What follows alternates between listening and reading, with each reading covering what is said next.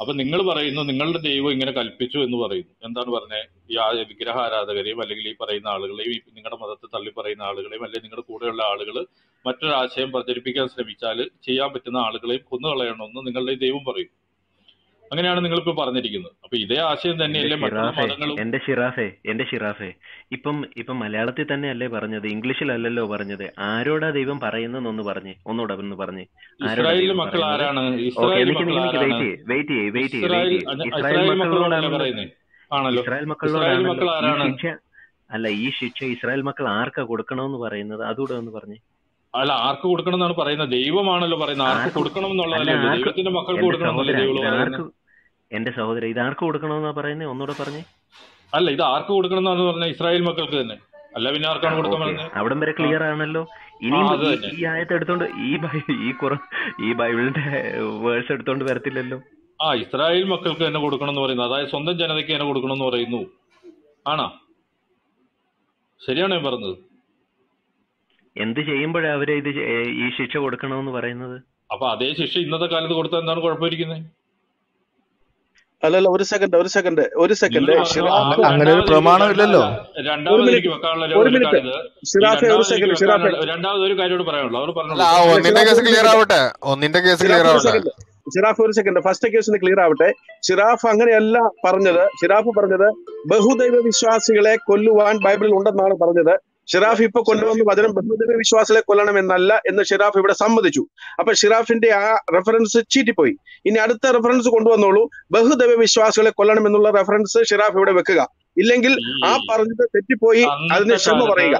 അന്നത്തെ കാലത്ത് അവിടെ ഉണ്ടായിരുന്ന ജനത ഇസ്രായേലിൽ ഉണ്ടായിരുന്ന ജനത ഈ പറയുന്ന മോശയിൽ വിശ്വസിക്കാതിരുന്ന ജനത ബഹുദൈവ ആരാധകരായിരുന്നു അല്ല എന്ന് പറയാൻ കഴിയൂ. എനിക്കൊരു പോയിന്റ് പറയാൻ അങ്ങനെ അങ്ങനെ അങ്ങനെ പോയിന്റ് പറയാനുണ്ട് ഷിറാഫിനോട്. ഈ ഈ കൽപ്പനയെ ഈ കൽപ്പനയെ അനുസരിച്ചിരുന്ന യഹൂദന്മാ യഹൂദ ഗോത്രങ്ങളോടാണ് മുഹമ്മദ് ചെന്നിട്ട് വേറൊരു ദേവനെ. അവർ അവരറിഞ്ഞ യഹോവയെ അല്ലാതെ ഒരു വന്യ അന്യദേവനെ ആരാധിക്കാൻ പറഞ്ഞ് അവരുടെ കഴുത്ത് വെട്ടാൻ നിന്നത്. അപ്പൊ ഒന്ന് ആലോചിച്ച് നോക്കൂ. അവർ അവർ അള്ളാഹുവിനെ ആരാധിക്കാൻ പറഞ്ഞ അതൊരു ടോട്ടലി അഗേൻസ്റ്റ് ആണ്. അങ്ങനെയുള്ള ഒരു ഒരു ഉപദേശം കൊണ്ട് വന്നവരെ അവർ ത്യജി ത്യജിക്കുക തന്നെ ചെയ്തു. അവർ കഴുത്ത് വെട്ട കഴുത്ത് വെട്ടിയാലും അവർ മാറാതിരുന്നതിന്റെ കാര്യം ഇപ്പൊ മനസ്സിലായോ ഷിറാഫിന്? അന്യദേവനാണ്. അതായത് അവരുടെ അവർ യഹൂദന്മാരുടെ യഹോവ എന്ന ദൈവത്തിന് അല്ലാതെ വേറൊരു നാമം കൊണ്ടുവന്ന ആളാണ് മുഹമ്മദ്. മനസ്സിലായോ? അത് അന്യദേവനാണ്. കാബയിലെ കാബാത്തെ ദൈവം. കാബ കാബായിലെ വൻ അന്യ പല ദേവന്മാരിൽ ഒരാൾ. അതാണ് മുഹമ്മദ് കൊണ്ടുവന്ന് അവരുടെ പ്രതിഷ്ഠിച്ചിട്ട് അവരോട് നിങ്ങൾ ഈ ഈ ദൈവത്തെ ആരാധിക്കാൻ പറഞ്ഞത്. അതിന് ശരിക്കും അതിന് മരണശിക്ഷയായിരുന്നു അത് അന്ന് അവർ കൊടുക്കേണ്ടിയിരുന്നത്. അന്ന് അവർ കൊടുത്തില്ല അതുകൊണ്ട് രക്ഷപ്പെട്ടു. എന്നാണ് മുഹമ്മദ് ഈ നിയമമായിട്ട് അവിടെ വന്നത്?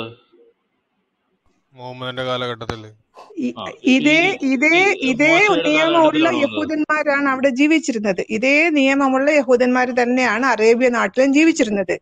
അവരോടാണ് പോയിട്ട് നിങ്ങൾ അള്ളാഹുവിനെ വന്ന് ആരാധിക്കുന്നു പറഞ്ഞത്. മനസ്സിലായോ? അവരുടെ നിയമം ഒരിക്കലും മാറിയിട്ടില്ല. യഹൂദന്മാർ അതേ നിയമം തന്നെ പാലിച്ചവര്. അവരോട് പോയിട്ടാണ് ഇത് പറഞ്ഞത്. അന്ന് ഇസ്രായേൽ മക്കൾക്ക് യഹോവ കൊടുത്ത നിയമമാണ് ഈ പറഞ്ഞത്. അല്ലേ? അല്ലെന്ന് പറയാൻ പറ്റുമോ? അവരുടെ ഇസ്രായേൽ മക്കളുടെ നിയമം ഇപ്പോഴും അത് തന്നെയാണ്. ആ വിശ്വാസം ഇപ്പോഴും അത് തന്നെയാണ് മാറിയിട്ടില്ല. ആണോ? തീർച്ചയായും അവരുടെ നിയമം മാറിയിട്ടില്ല. അവർ അന്യദേവന്മാരെ ആരാധിക്കാനുള്ള നിയമം മാറിയിട്ടില്ല. വിശ്വാസം മാറാൻ വരുത്തുന്നവരെ കൊല്ലണം എന്നുള്ളതാണ് അതിന്റെ അർത്ഥം. അത് ബഹുദൈവ അല്ല വിശ്വാസികളെ അങ്ങനെയല്ല അർത്ഥം. അങ്ങനെയല്ല അവരുടെ ഉള്ളിൽ അവരുടെ അവരുടെ മിനിറ്റ് അവരുടെ ഉള്ളിൽ തന്നെ ഉള്ളവര് അന്യദേവന്മാരെ പോയി ആരാധിച്ചാൽ അവരെ അവിടുന്ന് കൊല്ലണം എന്നാണ് പറഞ്ഞത്. അല്ലാണ്ട് മറ്റുള്ളവർ പോയിട്ട് യഹോവയാണ് ദൈവം അല്ല അവരെ അനുവദിക്ക അത് അനുസരിക്കാത്തവരെ കൊല്ലാൻ പറഞ്ഞിട്ടില്ല. ഷിറാഫെ ഷിറാഫിനോട് തിരിച്ചൊരു ചോദ്യം ചോദിക്കുന്നു. ഷിറാഫിന്റെ കൂട്ടത്തിൽ തന്നെ അല്ല അല്ല താങ്കൾക്ക് മനസ്സിലാകാൻ വേണ്ടി തന്നെയാണ്. താങ്കൾക്ക് മനസ്സിലാകാൻ വേണ്ടി തന്നെ പറയാം. താങ്കളുടെ കൂട്ടത്തിൽ നിൽക്കുന്ന താങ്കളുടെ കൂട്ടത്തിൽ ഒരുമിച്ച് നിൽക്കുന്ന ഒരാൾ ഒരു മുസ്ലിം നാളെ ഒരു ദിവസം വേറൊരു ദേവനെയാണ് നമ്മൾ ആരാധിക്കേണ്ടതെന്നും പറഞ്ഞിട്ട് താങ്കളുടെ അടുത്തേക്ക് വന്നു കഴിഞ്ഞാൽ താങ്കൾ എന്തായിരിക്കും ചെയ്യുന്നത്? ഞാൻ ഒരു ആരാധിച്ചോളം പറയും. എങ്ങനെ എങ്ങനെ എങ്ങനെ? കൊല്ലാൻ പ്രമാണം എന്താ പറയുന്നത്? നിങ്ങളുടെ നിങ്ങളുടെ പ്രമാണം എന്താ പറയുന്നതെന്ന് പറ. അല്ല ഞാൻ ചോദിച്ച ചോദ്യത്തിന് നിങ്ങൾക്ക് ഉത്തരം പറയാം. നിങ്ങൾ അതന്നെ ചോദിച്ചത്. സമാന ചോദ്യമല്ലോ ഷറഫ് ചോദിക്കുന്നത്. അതായത് യഹൂദര് യഹൂദരുടെ ഇടയിൽ നിന്ന് ഒരു യഹൂദൻ വേറൊരു ദൈവത്തെ ആരാധിക്കണം എന്ന് പറയുമ്പോൾ ആ ആ വ്യക്തിനെ കൊല്ലണമെന്ന് പഴയ നിയമം പറയുന്നു. നിങ്ങളുടെ ഇടയിൽ ഒരു മുർദത്തായ ഒരു വ്യക്തി ഇസ്ലാം മതം ഉപേക്ഷ അള്ളഹാനെ ഉപേക്ഷിച്ച് മുർദത്തല്ല ഇസ്ലാം അതാ അതാ തിരുത്തിയത് അതാ തിരുത്തിയത്. ഇസ് അള്ളഹനെ അല്ലാണ്ട് ശിവനെ ആരാധിക്കാനോ അല്ലെങ്കിൽ യഹോവനെ ആരാധിക്കാനോ പറഞ്ഞ് ഷറഫിന്റെ അടുത്തേക്ക് വന്നു കഴിഞ്ഞാൽ ഷറഫ് ഷറഫിന്റെ പ്രമാണം വെച്ച് എന്താണ് ചെയ്യുക? ഇസ്ലാമിക പ്രമാണം അനുസരിച്ച് എന്താണ് ചെയ്യുക? അതൊന്ന് പറഞ്ഞു തരൂ നിങ്ങൾ എല്ലാവരോടും സംസാരിക്കില്ല. ഒരാൾ സംസാരിക്കണം സംസാരിക്കുക. ഞാൻ പറഞ്ഞു ഇത്ര നേരം ഞാനല്ല സംസാരിച്ചത്. നിങ്ങളോട് ഇത്ര നേരം ഒരു രണ്ട് മിനിറ്റോളം ഞാനാ സംസാരിച്ചത്. പറയട്ടെ മറുപടി പറയട്ടെ. ഞാൻ ചോദിക്കുന്നേ നിങ്ങൾ എന്റെ ഒരു ചോദ്യം ഇതാണ്. രണ്ട് നിങ്ങൾ ഇപ്പൊ അനിൽക്കുടത്തോട്ട പാസ്റ്റർ ഇവിടെ ഇരിപ്പുണ്ട്. എല്ലാവരും ഇരിപ്പുണ്ട്. നിങ്ങളുടെ അടുത്ത് നിങ്ങളുടെ ഗ്രന്ഥത്തിൽ നിന്നൊരു സംശയം ചോദിക്കാനായിട്ട് നമ്മൾ വരുമ്പോൾ അല്ലെങ്കിൽ ഇങ്ങനെ ഒരു കാര്യം ഉണ്ടല്ലോ എന്ന് ചോദിക്കാൻ വരുമ്പോൾ നിങ്ങൾ പറയുന്ന നിന്റെ ആദർശം ഏതാണ്? ഞങ്ങൾക്ക് ബൈബിളിൽ നിന്ന് മാത്രം ഇത് തെളിയിച്ചു തരാൻ കഴിയത്തില്ല എന്ന് പറയുന്ന ഒരു പ്രവണതയാണ് നമ്മൾ ഞങ്ങൾ പറഞ്ഞു ഷറഫു ഷറഫു ഇല്ലാത്തത് പറയരുത്. ഞങ്ങൾ ഞങ്ങളുടെ അഭിപ്രായം പറഞ്ഞു കഴിഞ്ഞു. ഷറഫ് പിന്നെയും പിന്നെയും അതന്നെ ചോദിച്ചുകൊണ്ടിരിക്കുമ്പോഴാണ് നിങ്ങൾ നിങ്ങളുടെ നിങ്ങളുടെ പ്രമാണവുമായി കണക്ട് ചെയ്തുകൊണ്ട് ഞങ്ങൾ ഉത്തരം പറയുന്നത്. ഞങ്ങൾ ഞങ്ങൾ ഞങ്ങൾ ആ ഷിറാഫ്. ഞങ്ങൾ ഞങ്ങൾ ഞങ്ങളുടെ ആൻസർ പറഞ്ഞു കഴിഞ്ഞു. ഇസ്രായേൽ ജനത്തിന്റെ ഇടയിൽ നിന്ന് യഹോവയല്ലാത്ത വേറൊരു ദൈവത്തെ ആരാധിക്കണം എന്ന് പറഞ്ഞ് ഒരു യഹൂദനെ സമീപിച്ചു കഴിഞ്ഞാൽ അവനെ കൊല്ലണം എന്നാണ് അവിടെ പറഞ്ഞിരിക്കുന്നത്. അല്ലാണ്ട് പുറത്ത് കൊടുത്തോട്ടം ഭാഷ എന്താ? കൊടുത്തോട്ടം മാസ്റ്റർ ഈ പതിമൂന്നാം അധ്യായത്തെ പറ്റി എന്താണ് പറയാനുള്ളത് നോക്കാം എനിക്ക് ഒരു കാര്യമായിട്ട് ചോദിക്കണ്ട. അദ്ദേഹം മറുപടി എന്തായാലും പറയുമ്പോൾ അവർ കൂട്ടി പറയട്ടെ എന്നർത്താണ് അപ്പൊ ഞാനിപ്പോ രണ്ടാമത് ഇവിടെ ഒരു കാര്യം പറഞ്ഞവിടെ കൂട്ടി അദ്ദേഹം മറുപടി അദ്ദേഹം പറഞ്ഞു കാലാകാലം ഇപ്പൊ ആരോട് ചോദിച്ചിരുന്നു. കാലാകാലങ്ങളായിട്ട് മാറ്റി മാറ്റി പറയുന്ന ദൈവമാണോ നിങ്ങളുടെ എന്ന് ചോദിക്കുമ്പോൾ ഞാൻ ചോദിക്കുന്നത് പഴയ കാലത്തുണ്ടായിരുന്ന നിങ്ങൾ യഹോവ എന്ന് വിശ്വസിക്കുന്ന ഈ ദൈവം പുതിയതായിട്ട് യേശുക്രിസ്തുവിന്റെ കാലത്ത് വന്നപ്പം മാറ്റങ്ങൾ കൊണ്ടുവന്നു. അപ്പോ ഞാൻ ചോദിക്കുന്നത് ഈ പഴയ കാലത്തെ യേശുക്രിസ്തുവും ഈ പുതിയ കാലത്തെ യേശുക്രിസ്തുവും അങ്ങനെ നിയമങ്ങൾ മാറ്റി മാറ്റി കൊണ്ടുവരാനുള്ള ദൈവമാണോ നിങ്ങളുടെ കയ്യിലുള്ളത്? ഈ രണ്ട് ചോദ്യത്തിനുള്ള ആൻസർ ഓക്കെ ഓക്കെ ഈ ലാസ്റ്റ് ചോദിച്ചതിന് ഞാൻ ഒരു മറുപടി പറയാം. അതിന് മുമ്പ് ഈ ആവർത്തന പുസ്തകം പതിമൂന്നാം അധ്യായത്തിന്റെ അകത്തെ കാര്യത്തിന് കൊടുത്തിട്ടും വർഷം. അപ്പോൾ ഇവിടെ പഴയ നിയമത്തിൽ പറഞ്ഞിരിക്കുന്ന ദൈവം പുതിയ നിയമത്തിലേക്ക് വരുമ്പോൾ അങ്ങനെ ഓരോ നിയമങ്ങൾ മാറ്റിക്കൊണ്ടുവരുന്ന ആളാണോ എന്ന് ചോദിച്ചു. അപ്പൊ ഈ മക്കാസൂറയിൽ ഉണ്ടായിരുന്ന ഈ അള്ളാഹു എന്ന് പറയുന്ന ആൾ എന്ന് വെച്ച് കഴിഞ്ഞാൽ കുറേശികൾ അവിടെ ഷിറാഫെ. ഷിറാഫിനുള്ള മറുപടിയല്ല താഴെയുള്ള ഓഡിയൻസിന് നമ്മളൊന്ന് പറഞ്ഞു കേൾപ്പിക്കേണ്ടില്ല. എന്നുകൊണ്ട് ഷിറാഫ് പറഞ്ഞാൽ മാത്രമായി തീരത്തില്ലേ? അതുകൊണ്ട് അവിടെ നിൽക്ക് ബാക്കിയുള്ള നിങ്ങൾ ചോദിച്ചതിന് വ്യക്തമായിട്ടുള്ള മറുപടി കൊടുത്തിട്ടും പക്ഷേ പറയും പക്ഷേ നിങ്ങളുടെ പുസ്തകത്തിനകത്തുള്ളത് ഞാൻ എനിക്ക് ബാക്കിയുള്ള ഓഡിയൻസിനോട് പറയണം. ദേ ഈ ഇരിക്കുന്ന ഈ അലക്സ് ബ്രദറും അല്ലെങ്കിൽ ഇവരൊക്കെ തെറ്റിദ്ധരിക്കത്തില്ലേ? ഞാൻ അവർക്കൊന്ന് മറുപടി കൊടുത്തിട്ടുണ്ട് അപ്പോൾ ഇവിടെ മുഹമ്മദ് തുണിയില്ലാതെ കാബയ്ക്ക് ചുറ്റും പ്രദക്ഷിണം ചെയ്തുകൊണ്ടിരുന്ന കുറേശി സമൂഹത്തിൽ ജനിച്ച വ്യക്തിയാണെന്ന് എം എം അക്ബർ എഴുതിയ പുസ്തകത്തിൽ വ്യക്തമായിട്ട് എഴുതിയിട്ടുണ്ട്. അരാജകത്വം നിറഞ്ഞതും വളരെ മോശപ്പെട്ട് ജീവിച്ച ആ സമൂഹത്തിൽ ജനിച്ച് തവാഫ് ചെയ്തുകൊണ്ടിരുന്ന ആ സമൂഹത്തിന്റെ അകത്ത് ജനിച്ച വ്യക്തി പിന്നീട് ആ മക്ക സൂറയിലേക്ക് വരുമ്പോഴത്തേനും ഒരു സ്വഭാവം. എന്ന് വെച്ച് കഴിഞ്ഞാൽ ഈ കാബയ്ക്ക് നാഥനായിരുന്ന ആ അള്ളാഹുവിന് അന്നേരം ഒരു സ്വഭാവമാണ്. സ്ത്രീകളും പുരുഷന്മാരും എല്ലാം തുണിയില്ലാതെ പ്രദർശനം ചെയ്തുകൊണ്ടിരുന്നപ്പോൾ അള്ളാഹുവിന്റെ ഒരു സ്വഭാവം. മക്ക സൂറയുടെ വിഷയത്തിലേക്ക് വന്നപ്പോഴത്തേന് എന്തായി തീർന്നു? അള്ളാഹുവിന് ഒരു സ്വഭാവമായി കാരണം ആ സമയത്ത് നിനക്ക് നിന്റെ മതം എനിക്കെന്റെ മതം ലക്കന്തീനും എന്നും പറഞ്ഞിട്ടുള്ള പരിപാടി. അത് കഴിഞ്ഞപ്പോഴത്തേന് എന്തായി? മദീനയിലേക്ക് വന്നപ്പോഴത്തേന് പുള്ളിയുടെ സ്വഭാവം നേരെ അങ്ങ് മാറി.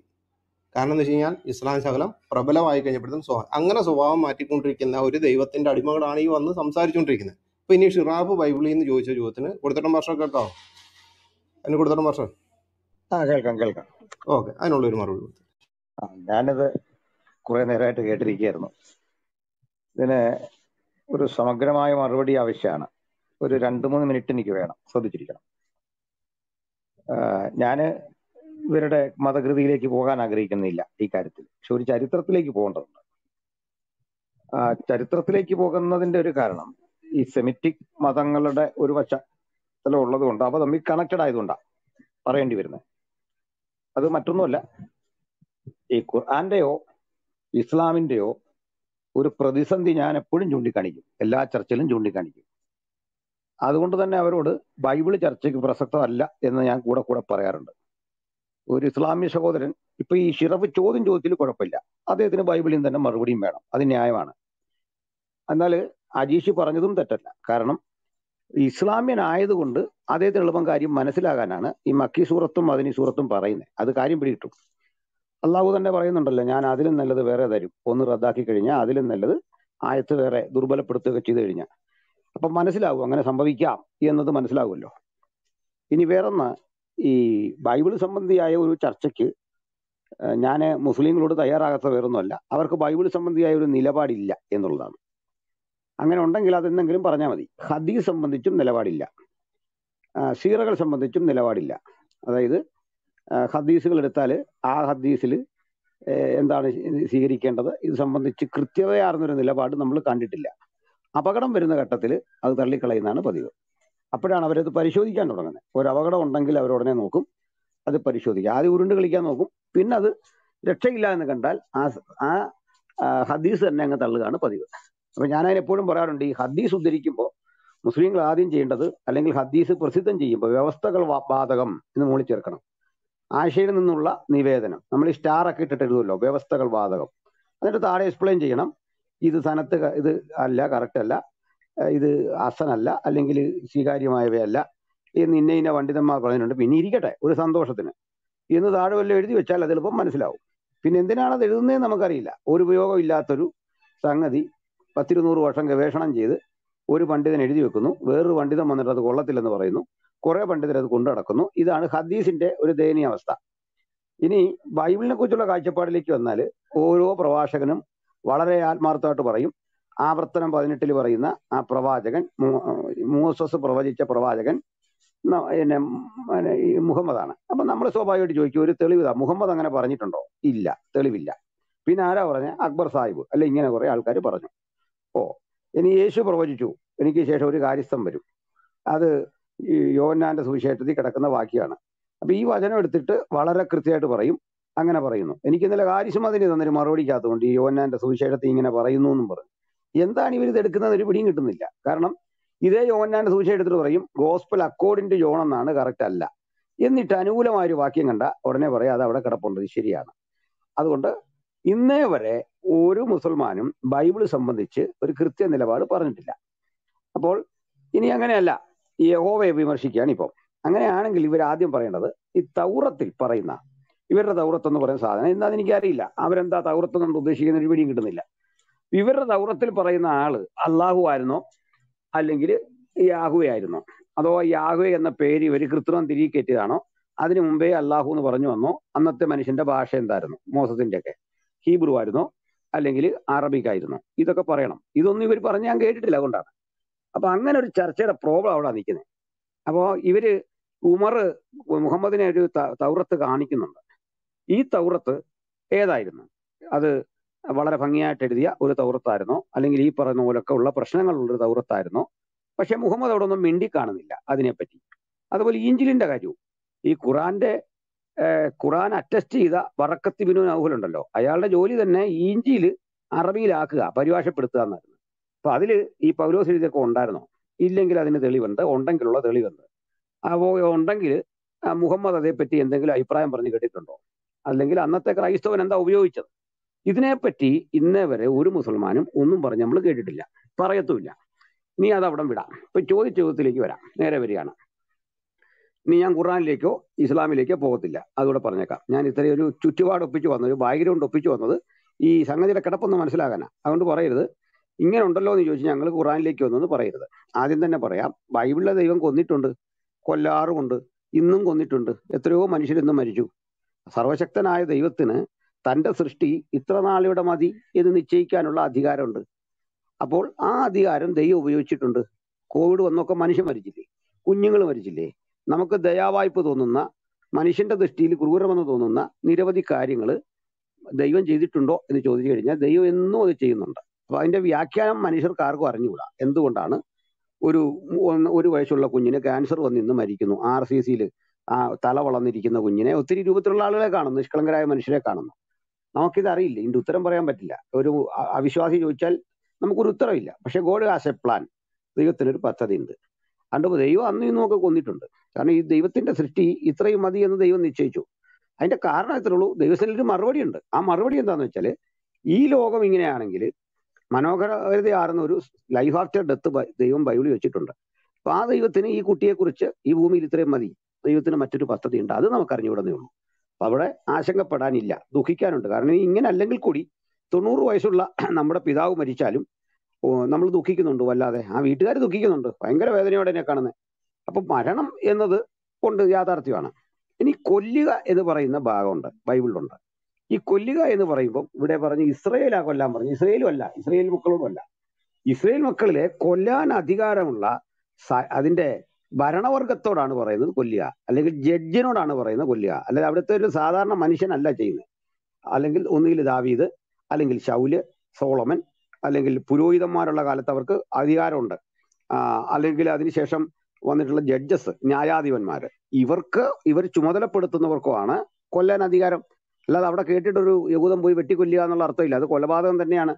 ഇന്നിപ്പോ നമുക്കറിയാം ഒരുത്തനെ തൂക്കിലേറ്റണം. തൂക്കിലേറ്റാൻ കൊണ്ടുവരുന്ന ആളിനെ നമ്മൾ എന്നാ നിങ്ങൾ അങ്ങ് വരെ പോകേണ്ട കാര്യമില്ല. ഞാൻ ഇവിടെ തീർത്തേക്കാന്ന് അവനെ പിടിച്ച് നമ്മൾ ഞെക്കിക്കൊന്ന എങ്ങനെ ഇരിക്കും. ഒരു ബുദ്ധിമുട്ടില്ല. ഞാനിപ്പോ വെട്ടിക്കൊന്നേക്കാന്ന് പറഞ്ഞാൽ ഇവനെ കൊല്ല- കൊല്ലാൻ വിധിച്ചല്ലേ പിന്നെ വെട്ടുന്നതിന് എന്താ കുഴപ്പം? അത് കൊലപാതകമാണ്. നമ്മൾ അവനെ തുടർന്ന് നോക്കില്ല. അപ്പൊ ഇത് നടപ്പിലാക്കേണ്ടത് ആര്? ഇതൊരു ഒരു വലിയ വിഷയമാണ്. നടപ്പിലാക്കേണ്ട ആളുണ്ട്. വേണ്ട ഇതെല്ലാം വിടും. സൗദി അറേബ്യയിൽ ഒരുത്തന്റെ കൈ വെട്ടുക എന്ന് നിശ്ചയിച്ചു. നമ്മളങ്ങോട്ട് കയറി കഥ പിന്നെ കൊടുവാളും മേടിച്ചുകൊണ്ട് പോയി അവന്റെ കൈ വെട്ടാൻ പറ്റുമോ? അതിനാളുണ്ട് അത് നമ്മൾ ലോകത്തെല്ലാം നടക്കുന്ന കാര്യമല്ലേ? അതിന് കൊല്ലാൻ നിർദ്ദേശം കിട്ടിയാൽ ക്യാപിറ്റൽ പണിഷ്മെന്റ് ആണ് കൊല എന്ന് പറയുന്നത്. അത് ഉത്തരവിട്ട് കഴിഞ്ഞാൽ ആ ഉത്തരവിടാൻ അധികാരം കോർട്ടിനുണ്ട്. എന്നതുപോലെ അവിടെ സംഭവിക്കുന്ന കാര്യം വളരെ വളരെ എളുപ്പത്തിൽ മനസ്സിലാകും. അങ്ങനെ കൊല നടത്തണം എന്ന് പറയുന്നത് ഈ ആളൊരു പബ്ലിക് ന്യൂസൻസ് ആകുന്നു. കാരണം ഇത് കേവലം ഒരു വിഗ്രഹ പൂജയല്ല ഇതേ ഇതേ ചുറ്റിപ്പറ്റിയുള്ള ഒത്തിരി നൊട്ടോറിയസ് ആയിട്ടുള്ള ഒത്തിരി ഇഷ്യൂസ് ഉണ്ട്. ഒരു എക്സാമ്പിൾ ആണ് ഊർവരതാ പൂജ ഫെർട്ടിലിറ്റി കൾട്ട് ലിംഗപൂജ. പഴയ കാലത്തെ ഏറ്റവും വലിയ പ്രശ്നമാണ്. ഇത് മിക്കവാറും ഈ ആരാധനകളെല്ലാം തന്നെ പഴയ കാലത്തെ വിഗ്രഹാരാധനകൾ പലതും സെക്സുമായിട്ട് റിലേറ്റഡ് ആണ്. നമുക്കറിയാതെ. അതുണ്ടാക്കുന്ന രോഗങ്ങളുണ്ട്. എഫസോസിലൊക്കെ വലിയ ടെമ്പിൾ ഉണ്ടായിരുന്നു ആർത്തമീസ് ദേവിയുടെ. അർത്തമീസ് ദേവിയുടെ ടെമ്പിൾ എന്ന് പറഞ്ഞാൽ തന്നെ ഒരു സ്ത്രീ പ്രതിമയ്ക്ക് ആയിരം സ്ഥലങ്ങളാണ് ആയിരം ചുരത്തുന്ന സ്ഥലങ്ങളുടെ ശില്പമാണ്. അപ്പൊ അവിടെ നടക്കുന്നത് മൂന്ന് വയസ്സായ കുട്ടിയെ കൊണ്ട് അവിടെ ഓഫർ ചെയ്യുക പെൺകുട്ടിയെ.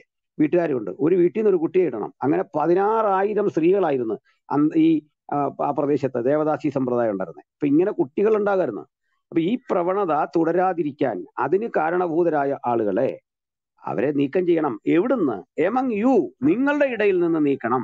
അല്ലാതെ അടുത്ത രാജ്യത്ത് കയറി വിഗ്രഹാരാധിയെ വെട്ടുക എന്ന ഒരു ആശയം നമ്മൾ അങ്ങ് ഇസ്രയേലിൽ കാണുന്നില്ല. അതാണ് ഒന്നാമത്തെ മറുപടി.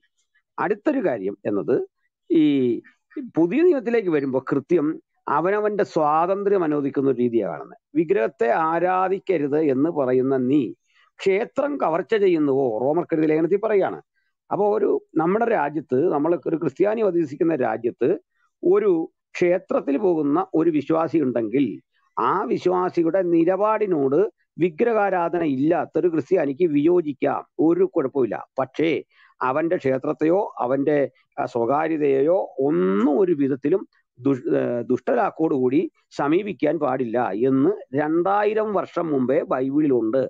കൃത്യമായിട്ട് തന്നെ ഉണ്ട്. എഴുതി വെച്ചിട്ടുണ്ട്. എഴുതി വെച്ചതാണ് ഞങ്ങളെ സംബന്ധിച്ചോളം പ്രധാന വിഷയം. ഇനി പാരമ്പര്യം രണ്ടാമത്തെ ഒരു ഘടകമാണ്. അപ്പൊ ഇനി വേറൊന്നുകൂടി കാണേണ്ടത് ഇത് ഇന്ന് ക്രിസ്ത്യാനിക്ക് ബാധകമാണോ എന്ന് ചോദിച്ചാൽ ഒരു ലാൻഡിന് കൊടുത്ത ലോക്കൽ ടെറിട്ടോറിയലായ ലോസ് ഉണ്ട്. ഒരു ടെറിട്ടോറിയൽ ലോ അപ്പൊ നമുക്ക് തന്നെ അറിയാം ചില കോടതികൾക്ക് ടെറിട്ടറി ഉണ്ട് കോടതിക്കെല്ലാം. അതിനപ്പുറത്തേക്ക് തന്നെ ജൂറിസ്ഡിക്ഷൻ ഇല്ല. അപ്പൊ ഇസ്രയേലൈറ്റ്സിന് കൊടുത്ത ക്രിമിനൽ നിയമങ്ങൾക്ക് ക്രിസ്ത്യാനിറ്റികളുടെ മീതെ ജൂറി ജൂറിസ്ഡിക്ഷൻ ഇല്ല. അതാ പഠിക്കേണ്ടത്. ഉണ്ടായിരുന്നെങ്കിൽ രണ്ടായിരം വർഷമായിട്ട് ഞങ്ങൾ ഈ വാക്യം എടുത്ത് ഇങ്ങനെ ചെയ്യലേ അതുകൂടെ പഠിക്കണം. ഒരു വസ്തുതയുടെ തിയറിയും അതിന്റെ പ്രാക്ടിക്കലും ഒരുമിച്ച് നോക്കണം. ക്രിസ്ത്യാനിറ്റി ഈ വിഷയത്തെ എങ്ങനെ കണ്ടു? ഞങ്ങൾ രണ്ടായിരം വർഷമായിട്ട് ചെയ്യുന്നില്ല. അന്യമതസ്ഥരെ കൊന്നിട്ടുണ്ടോ? കൊന്നിട്ടുണ്ടോ വെച്ചാൽ പൊളിറ്റിക്കൽ വാർ ഉണ്ടായിട്ടുണ്ട് കേട്ടോ ലോകത്തിന്റെ പലയിടങ്ങളിൽ പൊളിറ്റിക്കൽ വാർ ഉണ്ടായിട്ടുണ്ട്.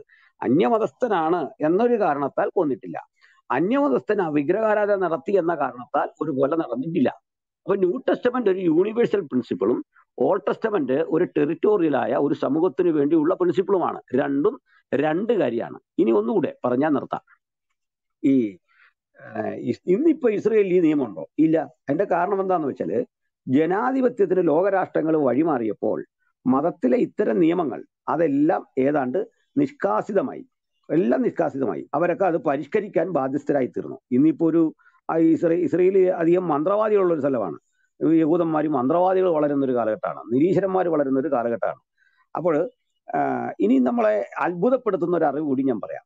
ഇപ്പോൾ ഇസ്രയേലിന്റെ ഏറ്റവും വലിയ ശത്രു ആരാ അത് ഇറാനാണ്. ഈ ഇറാനെ സഹായിക്കുന്ന യഹൂദന്മാരുണ്ടെന്നുള്ളതാണ് സത്യം. ഇറാനെ സഹായിക്കുന്ന യഹൂദന്മാർ എന്തിനാണ് എന്ന് ചോദിച്ചാൽ അവിടുത്തെ യഥാസ്ഥിതിക റിലീജിയസ് ജൂതന്മാരുണ്ട്. അപ്പൊ അവർ ഈ പറയപ്പെട്ട ഓൾഡ് ടെസ്റ്റ്മെന്റിലെ ആവർത്തന പുസ്തകമൊക്കെ വായിച്ചിട്ട് അവർ കാണുന്ന ഒരു ഭരണാധികാരിയിൽ ഈ നിയമം നടപ്പിലാക്കുന്ന ഒരു മനുഷ്യനെ കാണാൻ പറ്റുന്നില്ല.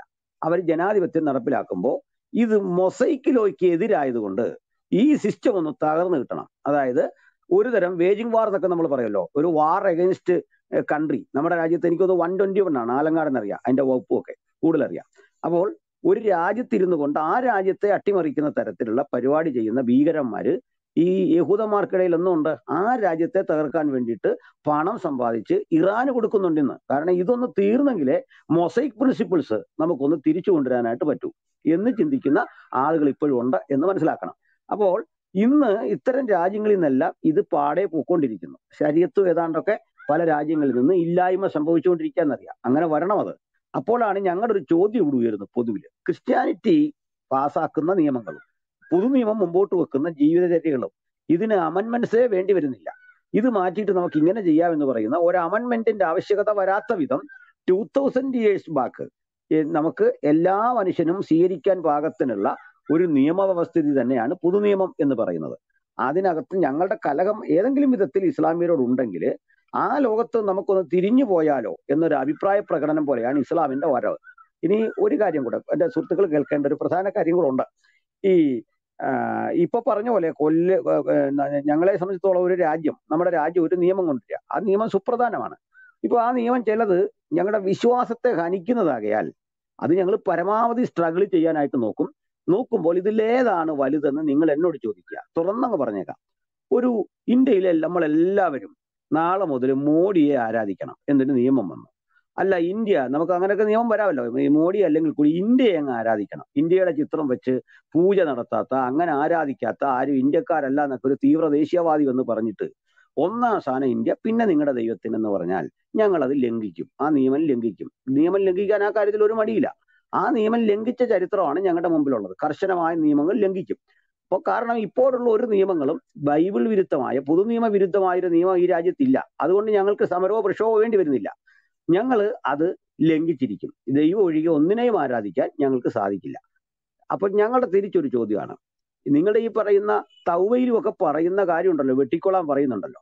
വെട്ടരുതെന്ന് ഇന്ത്യൻ ബീനിൽ വെട്ടിയ ശിക്ഷ തരാൻ ഭാഗത്തിന് അപ്പുറത്ത് നിൽക്കുന്നു. നിങ്ങൾക്ക് ഏതാണ് വലുത്. നിങ്ങൾക്ക് ഇതിൽ വലുത് ഏതാ? എന്തുകൊണ്ട് ഇന്ന് ഷിറഫിന് വെട്ടാൻ പറ്റുന്നില്ല? ഒരു താല്പര്യവും വരുന്നില്ല. ഒരാത്മാർത്ഥ അതിനകത്ത് കാണുന്നില്ല. അപ്പൊ അള്ളാഹുവിന്റെ പ്രമാണത്തെ ഇന്ത്യൻ പീനൽ കോഡ് വിഴുങ്ങിയില്ലേ? അപ്പൊ നിങ്ങൾ ഇന്ന് ഇന്ത്യൻ പീനൽ കോഡിനെ അനുസരിക്കുമ്പോൾ അള്ളാഹുവിന്റെ പീനൽ കോഡിന് അള്ളാഹുവിന്റെ ശിക്ഷാ നിയമത്തിന് നിങ്ങൾ വിധേയരല്ലാതെ പോകുന്നു? നിങ്ങൾ അതിൽ നിന്ന് പിന്മാറിപ്പോകുന്നു? മുർത്തതായി മാറുന്നു? അതൊരു പ്രശ്നമല്ലേ? ഞങ്ങൾക്ക് അങ്ങനെ വിശ്വാസം വിട്ട് പോകേണ്ടി വരുന്നില്ല. ഞങ്ങൾ പീനൽ കോഡിനെ റെസ്പെക്ട് ചെയ്യുന്നു. കോൺസ്റ്റിറ്റ്യൂഷനെ റെസ്പെക്ട് ചെയ്യുന്നു. If the constitution against our will ഞങ്ങളുടെ നിശ്ചയദാർഢ്യങ്ങൾക്കെതിരായിട്ട് കോൺസ്റ്റിറ്റ്യൂഷൻ വരുമ്പോൾ ഞങ്ങൾ സ്ട്രഗിൾ ചെയ്യും. ഞങ്ങൾ അതിനെതിരെ തന്നെ നിൽക്കും. കാരണം സമാധാനത്തിന് വിപരീതമായിട്ട് ഒരു സാമൂഹ്യ വ്യവസ്ഥിതിക്ക് വിപരീതമായിട്ട് ഞങ്ങളുടെ ബൈബിളിൽ പുതുനിയമത്തിൽ അതാണ് ക്രിസ്ത്യാനിയുടെ ലിറ്ററൽ പ്രമാണം അതാണ്. ബാക്കി ഞങ്ങൾക്ക് സ്പിരിച്വൽ മീനിങ് ആണ് ഓൾഡ് ടെസ്റ്റമെന്റിൽ ഉള്ളത് അതുകൊണ്ട് അതൊരു ടെറിട്ടോറിയൽ ലോ ആയിട്ട് തന്നെയാണ് കാണുന്നത്. ഒരു എക്സാമ്പിൾ കൂടി താങ്കൾക്ക് പറയാം മനസ്സിലാകാൻ വേണ്ടി. ഇപ്പൊ സബത്ത് ഡേ ഞങ്ങൾ ആചരിക്കണം എന്ന് ഓൾഡ് ടെസ്റ്റമെന്റിലുണ്ട് സബത്ത് ആ സബത്ത് ഒരു ടെറിട്ടോറിയല എന്താ കാര്യം? ടെറിട്ടോറിയൽ ആകാൻ കാരണം സബത്ത് മുടി ലോകത്തിനും വേണ്ടി ദൈവം കൊടുക്കൂല. മുടി ലോകത്തിനും കൊടുത്തിരുന്നെങ്കിൽ ആറുമാസം പകലും ആറുമാസം രാത്രിയുള്ള സ്ഥലങ്ങളില്ലേ? അവിടെ അഞ്ചു നേരം നിസ്കാരം പോലും സാധിക്കാത്ത സ്ഥലങ്ങളാണെന്ന് നോക്കണം ഇനി അടുത്തത് ഈ സബത്ത് ശനിയാണ് ചിലർക്കെങ്കിൽ ചിലർക്ക് വെള്ളിയാണ്. വ്യത്യാസം അതുപോലെ ഉണ്ട് അല്ലെങ്കിൽ ശനിയും ഞായറും തമ്മിലുള്ള വ്യത്യാസമുണ്ട്. പക്ഷെ അതൊരു ടെറിട്ടോറിയൽ മേഖലയിലെ ആളുകൾക്ക് അത് പാലിച്ചു പോകാം. അവിടെ കാണുന്ന യുദ്ധ നിയമങ്ങൾ സാമൂഹ്യ നിയമങ്ങൾ സാമാന്യ നിയമങ്ങൾ കാർഷിക നിയമങ്ങൾ ഇതെല്ലാം ആ രാജ്യത്തിനുള്ളതാണ്. മറ്റ് രാജ്യങ്ങൾക്ക് അത് ബാധകമല്ല. താരതമ്യേന വെള്ളം കുറവുള്ള രാജ്യത്തെ കൃഷി നിയമമാണോ നമുക്ക് വെള്ളമുള്ള സ്ഥലങ്ങളിലെ. അത് വ്യത്യാസമാണ്. അപ്പോൾ അതൊക്കെ ഇറ്റേണൽ ആയ ഒരു പ്രിൻസിപ്പിൾ അല്ല. അത് യേശു ക്രിസ്തു അക്കംപ്ലിഷ് ചെയ്തു എന്നാണ്. മാറ്റി നല്ല സുഹൃത്തെ. മാറ്റി നല്ല ഞങ്ങൾ പറയുന്നത്. അത് ന്യായപ്രമാണം ഡിമാൻഡ് ചെയ്തതൊക്കെ യേശു ക്രിസ്തുവിൽ നിവർത്തീകരിച്ചു. അത് കംപ്ലീറ്റഡ് ആയി. ആ ജോലി പൂർത്തീകരിച്ചു. ഒരു മനുഷ്യരാശിയെ പ്രിപ്പയർ ചെയ്തെടുക്കാൻ വേണ്ടി ഏകസത്യതയോ ബോധം ഉണ്ടാക്കിയെടുക്കാൻ വേണ്ടിയാണ് ഓൾഡ് ടെസ്റ്റമെന്റ് നിലകൊണ്ടത് ഒരു കാര്യം കൂടെ ഓർക്കണം ഈ ബൈബിളിൽ ഒരാൾ ഇങ്ങോട്ട് വന്നിട്ട് തൗഹീദ് സ്ഥാപിക്കാൻ വേണ്ടി വന്നല്ല തൗഹീദ് സ്ഥാപിക്കാനായിട്ട് ഒരാൾ അല്ലെങ്കിൽ ഏകദൈവ വാദം സ്ഥാപിക്കാൻ വേണ്ടിയത് ഇന്നാൾ മോസസ് ഒന്നും അതിന് വന്നതേ അല്ല. കാരണം അതിന് മുന്നമേ ആര് സ്ഥാപിക്കാതെ ആദം മുതൽ ഇങ്ങോട്ടുള്ള ഒരു ജനറേഷനിൽ ഇത് കൃത്യമായിട്ട് കിടപ്പുണ്ട്. അത് എൻറിച്ച് ചെയ്യേ അത് വിട്ടു പോകുന്ന മനുഷ്യനെ സംസ്കരിച്ചെടുക്കാൻ വേണ്ടിയാണ് ഈ ശിക്ഷണ നടപടിയൊക്കെ ഉള്ളത്. ആ ശിക്ഷണ നടപടികളിലൂടെ അതിന്റെ പൂർണ ശിക്ഷ നമ്മുടെ സമാധാനത്തിനായുള്ള ശിക്ഷ ക്രിസ്തു ഏറ്റുവാങ്ങിയപ്പോൾ അത് അക്കംപ്ലീഷ്ഡ് ആയി എന്നാണ് ക്രിസ്തീയ വിശ്വാസം. അത് യശയ അമ്പത്തിമൂന്നിൽ എഴുതിയ ആ നടപടിക്രമങ്ങൾ യേശുവിൽ പൂർത്തീകരിക്കപ്പെട്ടപ്പോൾ അക്കംപ്ലീഷ്ഡ് ആയി. അത് മാറ്റി നല്ലത്. അക്കംപ്ലീഷ്ഡ് ആയി. അക്കംപ്ലീഷ്ഡ് ആയിട്ട് മുഴുജനാവലിയും വിശ്വാസത്താൽ അതോട് ചേർന്നപ്പോൾ he grafted to the root ഞങ്ങളെ അതിന്റെ റൂട്ടിലേക്ക് ക്രൈസ്തവരെ ഒട്ടിച്ചു ചേർത്തപ്പോൾ ഞങ്ങൾക്കൊരു പ്രിൻസിപ്പൽ പുതുതായി തന്നു. കല്ലുകളിൽ എഴുതിയ പഴയ പഴയ വാചകങ്ങളല്ല ഹൃദയം എന്ന മാംസപ്പലകിൽ എഴുതിയ പുതിയ നിയമം. അതുകൊണ്ട് ക്രിസ്ത്യൻ പ്രിൻസിപ്പിൾ ഇക്കാര്യത്തിൽ വളരെ വ്യക്തമാണ്. വിമർശിക്കാൻ വരുന്ന നിങ്ങൾ ഇതൊന്നും അറിയാതെയും പഠിക്കാതെയും സംസാരിക്കാൻ വന്നാൽ നിങ്ങൾക്ക് ഒരിക്കലും അക്കാര്യത്തിൽ ഒരു തീരുമാനം എടുക്കാനായിട്ട് കഴിയില്ല. നിങ്ങൾക്ക് ഖുറാന്റെ കാര്യത്തിൽ എന്ന പോലെ അവ്യക്തത ഈ വിഷയത്തിലുണ്ട്. അതുകൊണ്ട് നാളുകളിൽ സംസാരിക്കുന്ന ആളുകൾ ഞാൻ ഖുറാൻ ഇവിടെ മിക്സ് ചെയ്ത് പറഞ്ഞല്ല മനസ്സിലാകാൻ പറഞ്ഞതേ ഉള്ളൂ. ഇനി ബാക്കി പിന്നീട് സംസാരിക്കാം. Thank you thank you pastor Eban Ajeesh brother. Ajeesh brother കേൾക്കുന്നുണ്ടോ? ഓക്കെ ഷിറാഫ്. ഓക്കെ അല്ല എന്തെങ്കിലും ആഡ് ചെയ്യാനുണ്ടെങ്കിൽ പറയാം. അല്ലെങ്കിൽ ഷിറാഫിന് അവസരം കൊടുത്തിട്ട് താങ്കളിലേക്ക് വരാം. ആഡ് ചെയ്ത് ചോദിക്കാനാ. അതായത് അതായത് ഇസ്രായേൽ മക്കളുടെ കാര്യം പറയുമ്പോൾ ഇസ്രായേൽ ജനത്തിന്റെ കാര്യം പറയുമ്പോൾ നമ്മൾ കാണാം നമുക്ക് കാണാൻ പറ്റും ഇസ്രായേൽ മക്കൾ ദൈവത്തിന്റെ സാമീപ്യം നേരിട്ട് അനുഭവിച്ചതായിട്ട് കാണാൻ പറ്റും. അതായത് അഗ്നിസ്തംഭമായിട്ടും അതുപോലെ മേഘസ്തംഭമായിട്ടും അതുപോലെ ദൈവത്തിന്റെ ശബ്ദം കേട്ടതായിട്ടും അതുപോലെ മന്ന അവർ ഭക്ഷിക്കുകയുണ്ടായി. അപ്പൊ ഇങ്ങനെ ഒരുപാട് അത്ഭുതങ്ങൾ ദൈവം നേരിട്ട് നൽകി കൊടുത്തപ്പോൾ അതായത് മറ്റു ജാതികളിൽ നിന്നൊക്കെ വിഭിന്നമായിട്ട് ദൈവം തെരഞ്ഞെടുത്ത ഒരു ജാതിയാണ് ഇസ്രായേൽ. അപ്പൊ അതുകൊണ്ട് തന്നെ അവർ ഈ ദൈവത്തിന്റെ വഴിയിൽ നിന്ന് മാറി മറ്റു വിഗ്രഹ ആരാധനയൊക്കെ ചെയ്യുമ്പോൾ അവർക്ക് കൊടുക്കുന്ന ഒരു ശിക്ഷ ചിലപ്പോ കൂടുതലായിരിക്കാൻ സാധ്യതയില്ല ബസ് അതൊരു ജസ്റ്റ് ഒന്ന് ആഡ് ചെയ്യും. ശിക്ഷ അപ്പോ വേറൊരു ചോദ്യം ചോദിക്കുക എന്നോട് ചോദിക്കുക ഇന്ത്യൻ ശിക്ഷാ നിയമം നിങ്ങൾക്ക് ബാധകമാണോ? ഞാൻ പറയാം എനിക്ക് ബാധകമല്ല. അത് സിമ്പിളായ അർത്ഥത്തിൽ പറയാം ബാധകമല്ലെന്ന്. അത് തെളിയിക്കാനും പറ്റും. കാരണം പോലീസ് വരിക. ഞാനെന്തിനാ വണ്ടി നിർത്തിയിട്ട് ഓടുന്നത് നിങ്ങളാരും ഓടിക്കണ്ടുണ്ടോ? മനുഷ്യർ കൂടുതൽ പേര് ഓടുകയല്ല. അവിടെ ഒന്നോ രണ്ടോ പേര് ഓടുന്നുണ്ട് ആ ഓടുന്നവൻ കുറ്റവാളിയാണ്. കുറ്റവാളിയെ തളയ്ക്കാനാണ് ശിക്ഷാ നിയമം ഉള്ളത് അത് ആ കുറ്റവാളിയെ തളയ്ക്കുക വഴി നമ്മൾ നൂറ് പേർക്ക് രക്ഷയാണ്. അവൻ വയലന്റ് ആയി കഴിഞ്ഞാൽ അവൻ മദ്യവെച്ച് വണ്ടി ഓടിക്കുന്നവനെ പിടിക്കാൻ പോലീസ് നിൽക്കുമ്പോൾ അവനെ പിടിച്ചില്ലെങ്കിൽ നമ്മുടെ വണ്ടി കൂടെ അപകടമാണ്. അപ്പൊ ശിക്ഷ എന്ന് പറയുന്നതിന്റെ മറുവശം ചിലർക്ക് അത് രക്ഷയാണ്. അവനെ പിടിച്ചേ പറ്റുള്ളൂ. അവനെ അകത്തിട്ടേ പറ്റുള്ളൂ. അപ്പോൾ എനിക്കോ ഷിറഫിനോ അത് ബാധകമല്ലാത്തത് അല്ലെങ്കിൽ സംസാരിക്കുന്ന വേറൊരാൾക്കോ ബാധകമല്ലാത്തത് നിങ്ങൾക്ക് ലൈസൻസ് കറക്റ്റാ പേപ്പർ കറക്റ്റാ മദ്യപിച്ചിട്ടില്ല പിന്നെന്തിനാ ഓടുന്നത് നമ്മൾ മാത്രമല്ല പോലീസ് കഴിഞ്ഞാൽ ചോദ്യം ചെയ്യും ചെയ്യും. എന്താ സാറേ ഞങ്ങൾക്ക് പോകണം സാറ് കാര്യം പറ. ഇത് പറയാനുള്ള ഒരു റൈറ്റ് നിങ്ങൾക്ക് കിട്ടുന്ന എങ്ങനെ? നിങ്ങൾ കറക്റ്റ് ആണെങ്കിൽ ഈ ശിക്ഷണ നടപടി നിങ്ങളൊന്നും ചെയ്യില്ല. അപ്പൊ നിയമം ഒരേ സമയത്ത് രക്ഷകനും ശിക്ഷകനുമായിട്ട് ഭവിക്കുന്നുണ്ട്. എങ്ങനെയാണ്? നിങ്ങൾക്കത് നിങ്ങളിൽ മദ്യപിച്ചിട്ടാണ് പോകുമ്പോൾ നിങ്ങളെ പിടിച്ചിട്ടേ പറ്റൂ. അല്ലെങ്കിൽ മറ്റു വണ്ടികൾക്ക് അത് തടസ്സം ഉണ്ടാകുന്നു. അപ്പോൾ ഇസ്രയേലിന് ശിക്ഷ കൂട്ടിക്കൊടുക്കുന്നില്ല വാസ്തവത്തിൽ ആർക്കും അങ്ങനെ ദൈവം കൂട്ടിയൊരു ശിക്ഷ കൊടുക്കുന്നില്ല. വാണിങ്ങുകളുണ്ട് വാണിങ്ങൾ സാധ്യതയാണ് കാണിക്കുന്നത്. ഇതാ നിന്നോട് ചെയ്യണ്ടേ? നമ്മൾ പറയല്ലോ നമ്മുടെ വണ്ടിക്ക് മുമ്പിലത്തും വന്നിട്ട് വെള്ളം ഒഴിച്ച് അടിയാൽ നിന്റെ ജൈവക്കുരി തീർത്ഥം തരേണ്ടതാ. ഞാനത് തരുന്നില്ല എന്ന് പറഞ്ഞ അതിന്റെ അർത്ഥം അടിച്ചു എന്നല്ല അടിച്ചു കഴിഞ്ഞല്ലോ ഇത് പറയുന്നത് അപ്പൊ അത് ശിക്ഷയാണ് അത് ബോധ്യപ്പെടുത്തലാണ്. കാരണം നാളെ നീതി ചെയ്യരുത്. അതിനു വേണ്ടിയുള്ള ഒരു താക്കീതുണ്ട്. അല്ലാതെ ക്രൂരതയല്ല കാണുന്നത്. നോർമലായി എഴുതി വെച്ച കാര്യമേ കൊടുക്കാൻ പറ്റുള്ളൂ. അപ്പൊ ഒരു കുറ്റത്തിന് എഴുതി വെച്ചൊരു ശിക്ഷയുണ്ട്. അതിൽ കൂടുതൽ കൊടുക്കുന്നതും മോശമാണ്. ഇത് ചെയ്യാൻ പാടില്ല. അപ്പോൾ ഏറ്റവും വിവരവും വിവേകവുമുള്ള ഒരു ജനതയായിട്ട് ഇസ്രയേൽ മാറുന്നുണ്ട് ചരിത്രത്തിൽ കാരണം നിങ്ങളൊന്ന് ആലോചിച്ച് നോക്കിക്കേ അത്രയും പ്രയാസമുള്ള ഒരു കാലത്ത് ഒരു ജനത വിഗ്രഹങ്ങളെ ആരാധിക്കാതെയും ഏകദൈവം എന്നൊരു ബോധത്തിൽ നിൽക്കുകയും പിൽക്കാലത്ത് അവരിലൂടെ വലിയ പ്രതിഭാശാലികൾ ലോകത്ത് വരികയും ആൽബർട്ട് ഐൻസ്റ്റീനെ പോലൊക്കെയുള്ള ആളുകൾ നമ്മുടെ സിഗ്മണ്ട് ഫ്രോയിഡിനെ പോലൊക്കെയുള്ള ആളുകൾ കാൾമാഷിനെ പോലെയുള്ള വലിയ വലിയ ആളുകൾ നോബൽ സമ്മാനം ഏറെ കരസ്ഥമാക്കിയ വലിയ ശാസ്ത്രജ്ഞന്മാരും ഒക്കെ വരികയാണ്. അപ്പൊ ഇങ്ങനെയുള്ള ഒരു വലിയ സമൂഹം വരുമ്പോൾ വരുമ്പോ അതിന് വേണ്ട അറിവ് അവർക്കുണ്ട്. അറിവുള്ളവൻ തെറ്റ് ചെയ്താൽ ഉണ്ടാകാവുന്ന കാര്യം അതിലും വലുതാണ്.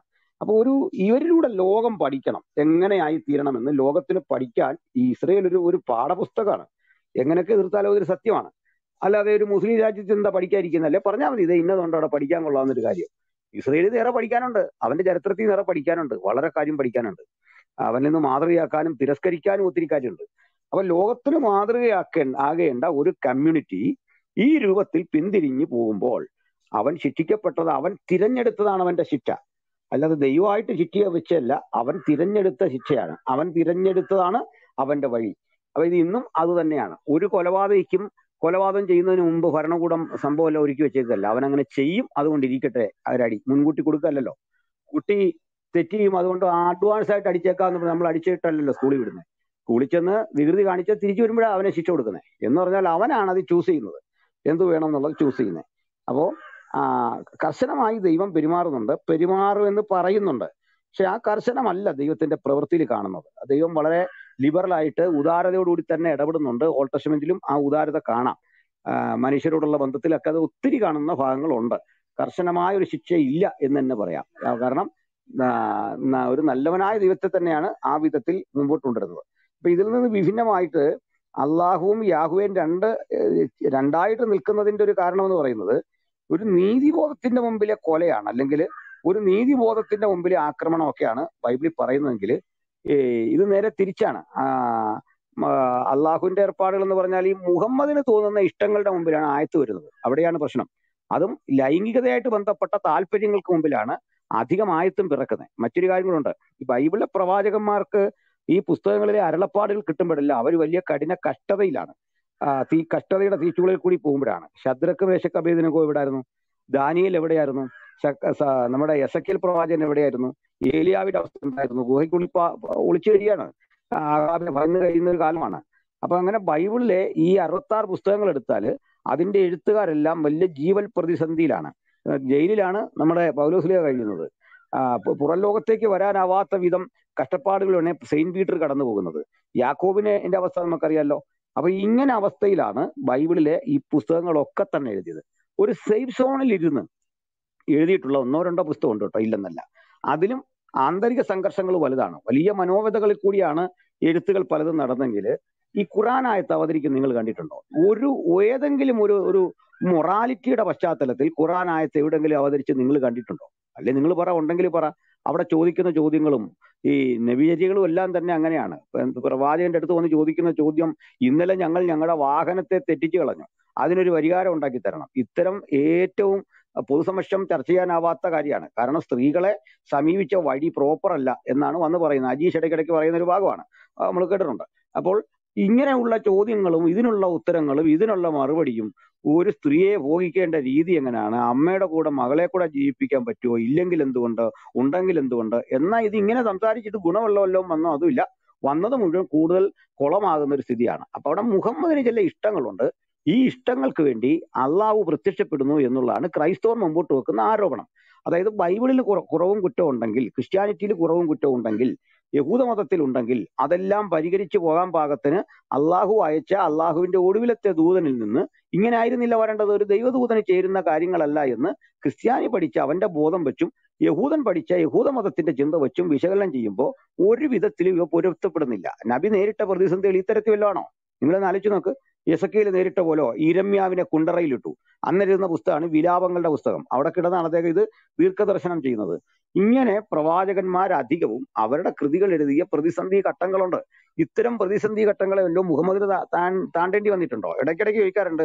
യേശു കേവലം മൂന്നര കൊല്ലമാണ് ഇവിടെ പ്രവർത്തിച്ചത്. ആ മൂന്നര കൊല്ലം കൊണ്ട് യേശുവിന് നേരിടേണ്ടി വന്ന വിഷയങ്ങളല്ല മുഹമ്മദിനെ നേരിടേണ്ടി വന്നത്. ഭയങ്കര സങ്കീർണമായ വേറെ ഒന്നുമില്ല. മുഹമ്മദിന് നേരിടേണ്ടി വന്ന ഇത്തരം സ്ത്രീകളെ കല്യാണം കഴിക്കാമോ? അതിനെ ഉപേക്ഷിക്കാമോ? പിന്നെയും കെട്ടാവോ? പിന്നെ കെട്ടേണ്ടുള്ള ഇതാണോ മനുഷ്യൻ ചെയ്യുന്ന ഏറ്റവും വലിയ പ്രശ്നം? ഇങ്ങനെയുള്ള ഒരു കാര്യത്തിന് ഉത്തരമില്ല അത് അതിലും മുഹമ്മദ് നേരിട്ടിട്ട് തന്ന ഉത്തരത്തെക്കാൾ മഹത്തരമായ ഉത്തരം നിരീശ്വരന്മാരായ ആളുകൾ പോലും ഇന്ന് കണ്ടെത്തി പറയുന്നുണ്ട്. അവ പോലും നീതിബോധത്തിന് നിരക്കുന്നതല്ല എന്ന് പറയത്തക്ക വിധം കാലം മുമ്പോട്ട് പോയിട്ടുണ്ട്. അത് നമ്മൾ കാണാതിരിക്കരുത്. ഇതാണ് ഞങ്ങൾ ആരോപിക്കുന്ന പ്രശ്നം. ഓക്കെ. ഷിറാഫ്. ഈ പാസ് മുന്നോട്ട് വെച്ചത് കണക്ക് തന്നെ. ഇസ്ലാം മതം മുന്നോട്ട് വെക്കുന്ന ഒരു ആശയം ഇത് തന്നെയാണ്. ഇതേപ്പോ ഈ പറഞ്ഞ കാര്യങ്ങളൊക്കെ വെച്ച് നോക്കുമ്പോൾ പഴയ ദൈവം ശരിക്കും പറഞ്ഞാൽ പുതിയൊരു രൂപത്തിലെത്തി പുതിയൊരു കുറച്ച് കാര്യങ്ങൾ അവിടെ കൂട്ടിച്ചേർക്കുന്നതല്ലാതെ പഴയ നിയമങ്ങളിൽ നിന്ന് വ്യത്യസ്തമായിട്ട് ഭരണ സംഹിതകളോ അല്ലെങ്കിൽ ഒരു ജീവിത മാർഗങ്ങളോ അല്ലെങ്കിൽ മറ്റു കാർഗ- മാർഗങ്ങളോ ഒന്നും യേശു ക്രിസ്തു കൂട്ടി ചേർത്ത് തരുന്നതായിട്ട് നമുക്ക് കാണാൻ കഴിയുന്നില്ല ഈ മൂന്നര വർഷത്തിനിടയ്ക്ക്. അത് കുറച്ച് ആളുകൾ ചേർന്ന് എഴുതി വെച്ചതായിട്ടും അല്ലെങ്കിൽ അതിനകത്ത് പ്രത്യേകമായിട്ട് ആദർശങ്ങളൊന്നും എന്തോ കുറച്ച് വചനങ്ങളൊക്കെ ഉണ്ട്. ഇല്ല എന്ന് പറയുന്നില്ല നിന്നെ പോലെ നിന്നെ അയൽക്കാരനെ സ്നേഹിക്കുക അങ്ങനെയുള്ള കുറച്ച് വചനങ്ങൾ എഴുതി കൂട്ടിച്ചേർത്തതല്ല അത് യേശുക്രിസ്തുവിന്റെ ജീവിതത്തിൽ പ്രത്യേകമായിട്ടൊന്നും കാണാനായിട്ട് കഴിയുന്നില്ല. യേശുക്രിസ്തു യേശുക്രിസ്തു ഒരു രാജ്യം എങ്ങനെയാണ് ഭരിക്കേണ്ടതെന്നോ അല്ലെങ്കിൽ ഒരു കുടുംബജീവിതം എങ്ങനെയാണ് നയിക്കേണ്ടതെന്നോ അല്ലെങ്കിൽ മറ്റു വസ്തുതകൾ എങ്ങനെയാണ് ചെയ്യേണ്ടതെന്നോ യേശു ക്രിസ്തു അതിനകത്തൊന്നും കാണിച്ചിട്ടില്ല. പക്ഷേ നമുക്ക് കാണാൻ കഴിയുന്ന എന്താണെന്ന് വെച്ച് കഴിഞ്ഞാൽ പഴയ കാലത്തുണ്ടായിരുന്ന യഹോവയെ ഒരു പുതിയ രീതിയിൽ ചിത്രീകരിക്കാനായിട്ടുള്ള ഒരു കഥയായിട്ടാണ് നമുക്കിത് മനസ്സിലാക്കാൻ കഴിയുന്നത്. യഹോവ എന്ന് പറയുന്ന ദൈവത്തെ പറ്റി തന്നെ പറയുമ്പോൾ നിങ്ങൾക്ക് തന്നെ നിങ്ങൾക്കുള്ളിൽ തന്നെ അഭിപ്രായത്തെ യഹോവ ദൈവമാണോ യേശു ദൈവമാണോ അല്ലെങ്കിൽ യേശു ഇത്രയും ക്രൈസ്തവർ ഇവിടെ ഇരിപ്പുണ്ട്. നമ്മൾ ഇവരോട് ചോദിക്കുകയാണ് നിങ്ങൾക്കൊരു ഏക ദൈവം പറയാൻ പറയുമ്പോൾ അതുപോലും പറയാനായിട്ട് നിങ്ങളെ കൊണ്ട് കഴിയാത്തൊരവസ്ഥയിലേക്ക് നിങ്ങൾ എത്തിക്കഴിഞ്ഞു ഇപ്പൊ ഇന്ന് സമൂഹത്തിൽ.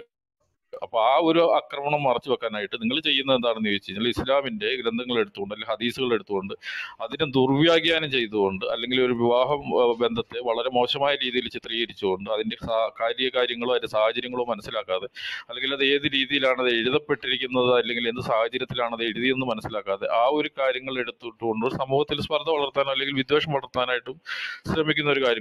ഖുറാനിൽ ഇത്രയും എഴുതിയിരിക്കുന്ന വചനങ്ങൾ പല കാലത്ത് ഘട്ടങ്ങളായിട്ട് നബിയോട് പല ആളുകളും ആ- പല സഹാബികളും ആവശ്യപ്പെട്ടതനുസരിച്ച് നബി അള്ളാഹുവിന്റെ നേരിട്ടുള്ള വചനങ്ങളാണ് അവിടെ രേഖപ്പെടുത്തി വെച്ചിരിക്കുന്നത്. അത് ഒരു കൂട്ടം ആളുകൾ എഴുതി ചേർക്കുകയോ കൂട്ടിച്ചേർക്കുകയോ ഒന്നും ചെയ്ത കാലഘട്ടങ്ങളിലുള്ള കാര്യങ്ങളല്ല. അത് മാത്രവുമല്ല നമ്മൾ മനസ്സിലാക്കേണ്ട ഒരു കാര്യം. അള്ളാഹു ഖുറാൻ ഇറക്കിയപ്പോൾ അത് തന്റെ മുൻ വേദങ്ങളിൽ വന്ന അല്ലെങ്കിൽ മുൻ പ്രവാചകന്മാരെ എല്ലാം അംഗീകരിച്ചുകൊണ്ട് തന്നെ അല്ലെങ്കിൽ മുൻ ഉണ്ടായിരുന്ന വന്നിരിക്കുന്ന ഈ പറയുന്ന ദൈവങ്ങളെ സങ്കല്പങ്ങളെ എന്തൊക്കെ തള്ളിക്കളയേണ്ടത് തള്ളിക്കളഞ്ഞും അല്ലെങ്കിൽ കൂട്ടിച്ചേർക്കേണ്ടത് കൂട്ടിച്ചേർത്തുകൊണ്ടൊക്കെ തന്നെയാണ് ഇതിനകത്ത് എഴുതിയിരിക്കുന്നത്. അല്ലാതെ ഇത് ഒരു പഴയ ഒരു സമൂഹം നിലനിൽക്കുന്നില്ലെന്നോ അല്ലെങ്കിൽ അങ്ങനെ ഒരു പ്രവാചകന്മാരില്ലായിരുന്നു എന്നും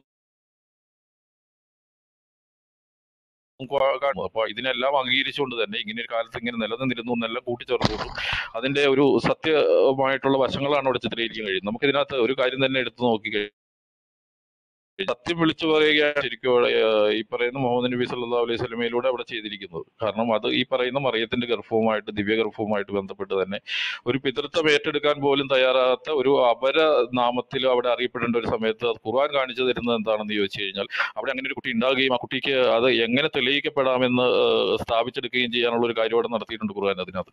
അപ്പൊ അങ്ങനെയുള്ള ഒരുപാട് വിരുദ്ധമായിട്ടുള്ള അഭിപ്രായങ്ങൾ നമുക്ക് ഉള്ളത് കൊണ്ടാണ് നമ്മൾ ഇതേ അവകാശം വെച്ചുകൊണ്ട് തന്നെ ഈ വിമർശനങ്ങളുമായിട്ട് മുന്നോട്ട് പോയിക്കൊണ്ടിരിക്കുന്നത്. പക്ഷെ എനിക്ക് ഇതിനകത്ത് സൂചിപ്പിക്കാനുള്ളത് അനിൽപോട്ടത്തോട്ടും പാസ്റ്ററോട് പോലും. നമ്മൾ വിമർശനങ്ങളാകാൻ കുഴപ്പമില്ല. വിവാഹം ഒന്നും ലൈംഗിക ബന്ധം എന്ന് പറയുമ്പോൾ ലൈംഗിക ബന്ധമൊന്നും സൂക്ഷിക്കാതെ പറയാതെ അത് കാമകേളികളായിട്ടും മറ്റു രീതിയിലൊക്കെ മോശമായിട്ട് വാക്കുകൾ ഉപയോഗിച്ചുകൊണ്ടിട്ടുള്ള പ്രവണതകൾ അവസാനിപ്പിച്ചാൽ തന്നെ ക്ലബ് ഹൗസിൽ നടക്കുന്ന ചർച്ചകൾക്കെല്ലാം കുറച്ചും കൂടി ഒരു ഒരു കുറച്ചും കൂടി ഒരു നല്ല രീതിയിലുള്ള ഒരു സ്റ്റാൻഡേർഡ് ആയിട്ടുള്ള ചർച്ചകളിലേക്ക് പോകും എന്നുള്ളതാണ് നിക്കാഹ് എന്ന് വെച്ച് കഴിഞ്ഞാൽ എന്താ അർത്ഥം? അതുകൂടെ ഒന്ന് പറഞ്ഞു. ഒരു മിനിറ്റ് അനി ഒരു മിനിറ്റ് അനി ഒരു മിനിറ്റ് നിക്കാഹ് എന്ന് വെച്ച് കഴിഞ്ഞാൽ എന്താ അർത്ഥം? അതുകൂടെ ഒന്ന് പറഞ്ഞു. ഞാൻ അത് മനസ്സിലാക്കുന്ന അർത്ഥം വിവാഹം എന്നുള്ളതാണ്. അത് മനസ്സിലാക്കേണ്ട ആവശ്യമേ എനിക്കിന്നുള്ളൂ ഇന്നത്തെ സാഹചര്യത്തിൽ താങ്കൾ മനസ്സിലാക്കിയതല്ല അതിന്റെ പ്രമാണം വെച്ച് പറയേ. പ്രമാണത്തിലുള്ള കാര്യം താങ്കൾ എന്താണ് നിക്കാഹ് എന്ന് ഇതുവരെ മനസ്സിലാക്കിക്കൊണ്ടിരുന്നത് ഈ സമൂഹത്തിൽ ഈ നിങ്ങളുടെ സമൂഹത്തിൽ എന്താണ് ഞാൻ എന്തിനാ അത് പറയേണ്ട കാര്യം? നിങ്ങളുടെ പുസ്തകത്തിൽ നേരത്തെ താങ്കൾ എന്താണ്? താങ്കൾ എന്താണ് അതിനെപ്പറ്റി ഇതിനു മുമ്പ് മനസ്സിലാക്കിയിരുന്ന നിക്കാഹ് എന്ന് പറയുമ്പോൾ എന്താണെന്നുള്ളത്? ഞങ്ങൾ നേരത്തെ മനസ്സിലാക്കിയിരുന്ന ഒരു വിവാഹം എന്നായിരുന്നു ഞങ്ങൾ മനസ്സിലാക്കിയ പിന്നെ ഞങ്ങൾ ഞങ്ങളെ കൊണ്ട് ഇത് പഠിപ്പിച്ചു പഠിച്ചു. വായിച്ചു പഠിക്കേണ്ട ഒരു സാഹചര്യം ഉണ്ടായി. അപ്പൊ പഠിച്ചപ്പോഴത്തേക്കും കാര്യങ്ങൾ മനസ്സിലായി. പ്ലീസ് അലക്സ് ഒരു മിനിറ്റ് നിങ്ങളുടെ പുസ്തകം വായിച്ചപ്പോഴത്തേനും നിക്കാഹ് എന്ന് പറയുന്നത് വിവാഹമാണെന്നല്ല എഴുതിയിരിക്കുന്നത്. നിങ്ങൾക്ക് അത് ഏത് രീതി വേണമല്ലോ അനീഷ വ്യാഖ്യാനിക്കാം. ഇപ്പൊ ഷിറാഫ് ഒരു മിനിറ്റ് ഒരു മിനിറ്റ്. ഞാൻ ഷിറാഫ് ഒരു മിനിറ്റ് മ്യൂട്ട് ചെയ്യുക അത് വായിച്ചു ഒരു മിനിറ്റ്. കേൾപ്പിക്കും താങ്കളെ വെയിറ്റ് ചെയ്യ് വ്യാഖ്യാനിക്കുകയല്ല എനിക്ക് കേൾക്കണ്ട. ഞാൻ അങ്ങനെ അങ്ങനെ പറയരുത്. ഇവിടെ തെളിവുകൾ ഉദ്ധരിച്ചോണ്ട് നമ്മൾ ഏത് കാര്യം പറയത്തുള്ളൂ. സംസാരിക്കത്തുള്ളൂ. ആരും ഇടപെടാതെ ഹലോ മറ്റുള്ളവർ ഇടപെടാതെ അവർ അവർ തമ്മിൽ സംസാരിക്കട്ടെ പ്ലീസ് നിക്കാഹ് എന്ന് പറയുന്നത് ഇദ്ദേഹം ഒരു വിവാഹം എന്നുള്ള രീതിയിലാണ്. നിങ്ങളുടെ പണ്ഡിതന്മാരെക്കാളും വലിയ പണ്ഡിതനായി പോയല്ലോ ഷിറാഫ്. പണ്ഡിതൻ ഇവിടെ എന്ത് എഴുതി വെച്ചിരിക്കുന്നത് അറിയോ നിങ്ങളുടെ കൊലപാതകം തന്നെയല്ലേ? കൊലപാതകം അതെ പക്ഷെ കൊലപാതകത്തിന് കൊലപാതകം തന്നെയാണ്. തുണി പൊക്കാൻ പറഞ്ഞ പൊക്കാൻ പറഞ്ഞത് തന്നെയല്ലേ? എന്നാ ഇത് കേട്ടോ. അന്ന ഇനി ഷിറാഫ് കേട്ടോ. ഷിറാഫ് കേട്ടോ. ഒരു മിനിറ്റ് മ്യൂട്ട് ചെയ്യ്. ഒരു മിനിറ്റ് മ്യൂട്ട് പ്ലീസ് ഒരു മിനിറ്റ് മ്യൂട്ട് ബറോസ് Barroz please mute mute mute okay okay കാര്യം പറയട്ടെ മ്യൂട്ട് ചെയ്യാം പറയാം. ഒരു കാര്യം പറയട്ടെ. ഇത് കഴിഞ്ഞിട്ട് ഞാനും ഒരു വചനം വായിക്കാം. അത് അങ്ങനെ തന്നെ താങ്കൾ കാണാവുള്ള ആ വചനത്തിന്. കേട്ടോ? Okay okay. ഞാൻ അന്നേരപ്പോഴത്തേനും അടുത്ത കൂട്ടിച്ചേർക്കോ കുറയ്ക്കോ വേണ്ട? ഒന്നും വേണ്ട. ഞാൻ അന്നേരപ്പെടുത്തിന് അടുത്ത വായിക്കും. താങ്കൾ ശരി ഞാൻ അടുത്ത ഒരെണ്ണം വായിക്കും. ആ. ആ ഇത് ഇസ്ലാമിന്റെ കർമ്മശാസ്ത്ര പുസ്തകം ഫത്തുക്കുൽ മുയിൻ എന്ന് പറയും. അതിന്റെ പേജ് നാനൂറ്റി നാൽപ്പത്തിരണ്ട് അധ്യായം പതിനാല് വിവാഹം. എന്താണ് വിവാഹം എന്നുള്ളത് നോക്കണം. ഇങ്ങനെയാണ് എഴുതിയിരിക്കുന്നത്. ഒരുമിക്കുക മേളിക്കുക എന്നീ അർത്ഥങ്ങളാണ് ഭാഷാപരമായി നിക്കാഹ് എന്ന പദത്തിനുള്ളത്. മരങ്ങൾ ആടി ഉലഞ്ഞ് പരസ്പരം കൂടിക്കലരുന്നതിന് തനാക ഹദിൽ എന്ന് വെച്ചാൽ അസ്ജാർ എന്ന് പ്രയോഗിക്കാറുണ്ട്. ഇൻകാഹ് തസ്വീജ് എന്നീ പദങ്ങൾ ഉപയോഗിച്ച് സംയോഗം അനുവദനീയമാക്കുന്ന ഇടപാടാണ് സാങ്കേതിക അർത്ഥത്തിൽ നിക്കാഹ്. ഈ പദം വിവാഹ ഇടപാടിനും സംയോഗത്തിനും ഉപയോഗിക്കാറുണ്ടെങ്കിലും ഒന്നാമത്തത് നേരർത്ഥവും രണ്ടാമത്തത് സൂചനാർത്ഥവുമാണ്. ഇനി ഷിറാഫ് പറ ഇവിടെ ഇവിടെ വിവാഹം എന്ന് പറയുന്ന സംഭവം കൊടുത്തിരിക്കുന്നത്? സംയോഗം എന്ന് പറയുന്ന സംഭവമാണ് ഇവിടെ പറഞ്ഞിരിക്കുന്നത്. മരങ്ങൾ കൂടി കലരുന്നത് പോലെ അല്ലെന്നുണ്ടെങ്കിൽ ഒരുമിക്കുക മേളിക്കുക എന്നുള്ള അർത്ഥമാണ് ഈ പറഞ്ഞിരിക്കുന്നത്. അല്ല നിക്കാഹിന് വിവാഹം എന്ന് പറയുന്നൊരു അർത്ഥം ഇവിടെ കൊടുത്തിട്ടില്ല. സംയോഗത്തിനും ഉപയോഗിക്കാൻ ആ വാക്കിനാണ് ഉപയോഗിച്ചിരിക്കുന്നത് നിക്കാഹ് എന്ന വാക്ക്. ഞങ്ങളൊക്കെ ആദ്യമേ നിക്കാഹ് എന്ന് വെച്ച് കഴിഞ്ഞാൽ അതെ ആ മോസ്കിലെ ആ മുസ്ലിയാരുടെ മോന്റെ നിക്കാഹാണ് എന്ന് പറയുമ്പോഴത്തേനും നമ്മൾ ആ കല്യാണം. പക്ഷെ ഇത് പുസ്തകം ഇങ്ങോട്ട് മേടിച്ച് വായിച്ചു തുടങ്ങിയപ്പോഴാണ് ഇതിന്റെ അകത്ത് എന്താണ് കാണുന്നത്? നിക്കാഹ് എന്ന് പറയുന്നതിന് വിവാഹം എന്ന് പറയുന്നൊരു അർത്ഥമല്ല. വിവാഹം എന്നൊരു എഡിങ് കൊടുത്തിട്ടുണ്ട്. പക്ഷെ നിക്കാഹിന്റെ അർത്ഥം എന്താണ് പറയുന്നത് ഒരുമിക്കുക മേളിക്കുക എന്നുള്ളതാണ്. അതെന്താണ് ഈ ഒരുമിക്കുക മേളിക്കുക എന്നുള്ള ഇതിലേക്ക് വരുന്നത്? ഇപ്പൊ ഷിറാഫ് പറഞ്ഞ ആ സംഭവം തെറ്റി ഇനി ഷിറാഫ് പറഞ്ഞെന്ന് പറഞ്ഞ ആ വാക്യം ഒന്ന് വായിച്ചു വായിര്. അല്ല ജീഷ് അജീഷ് ബ്രദർ ഒരു ഒരു കാര്യം ഒന്ന് ഒരു കാര്യം ഒന്ന് പറഞ്ഞോട്ടെ. ഇപ്പോ ഷിറാഫിനൊക്കെ ഭയങ്കര വല്ലാതെ അങ്ങ് ആഗ്രഹം തോന്നുന്നുണ്ട്. ഈ പരിപാടി നമ്മളൊന്ന് അവസാനിപ്പിക്കണമെന്ന്. ഏഹ് ഇപ്പൊ അവർ ഇന്ന് രാവിലെ ഒരു റൂം ഇട്ടുണ്ടായിരുന്നു. മത മത വിമർശനം പാടുണ്ടോ എന്ന് ചോദിച്ചിട്ട്. കാരണം ഇന്നിപ്പം നമ്മുടെ ചോദ്യങ്ങൾക്ക് മറുപടി ഇല്ലാത്തത് കൊണ്ട് എങ്ങനെയെങ്കിലും ഈ പരിപാടി ഒന്ന് അവസാനിപ്പിക്കണമെന്നൊരു ആഗ്രഹമുണ്ട് ഇവർക്ക്. പക്ഷെ അത് നമുക്കങ്ങനെ സാധിക്കുമോ നമ്മൾ നമ്മൾ കുറെ ഇത് മേടിച്ച് കൂട്ടി കെട്ടിട്ടല്ലേ നമ്മൾ ഈ പഠനം തുടങ്ങിയത്. അപ്പൊ നമ്മൾ ഇന്നത്തെ കേരള പൊതുസമൂഹത്തിന് ഇത് പഠിപ്പിച്ചുകൊണ്ടിരിക്കുകയല്ലേ മതി മതി മതി. വെയിറ്റ് വെയിറ്റ് പ്ലീസ് പ്ലീസ്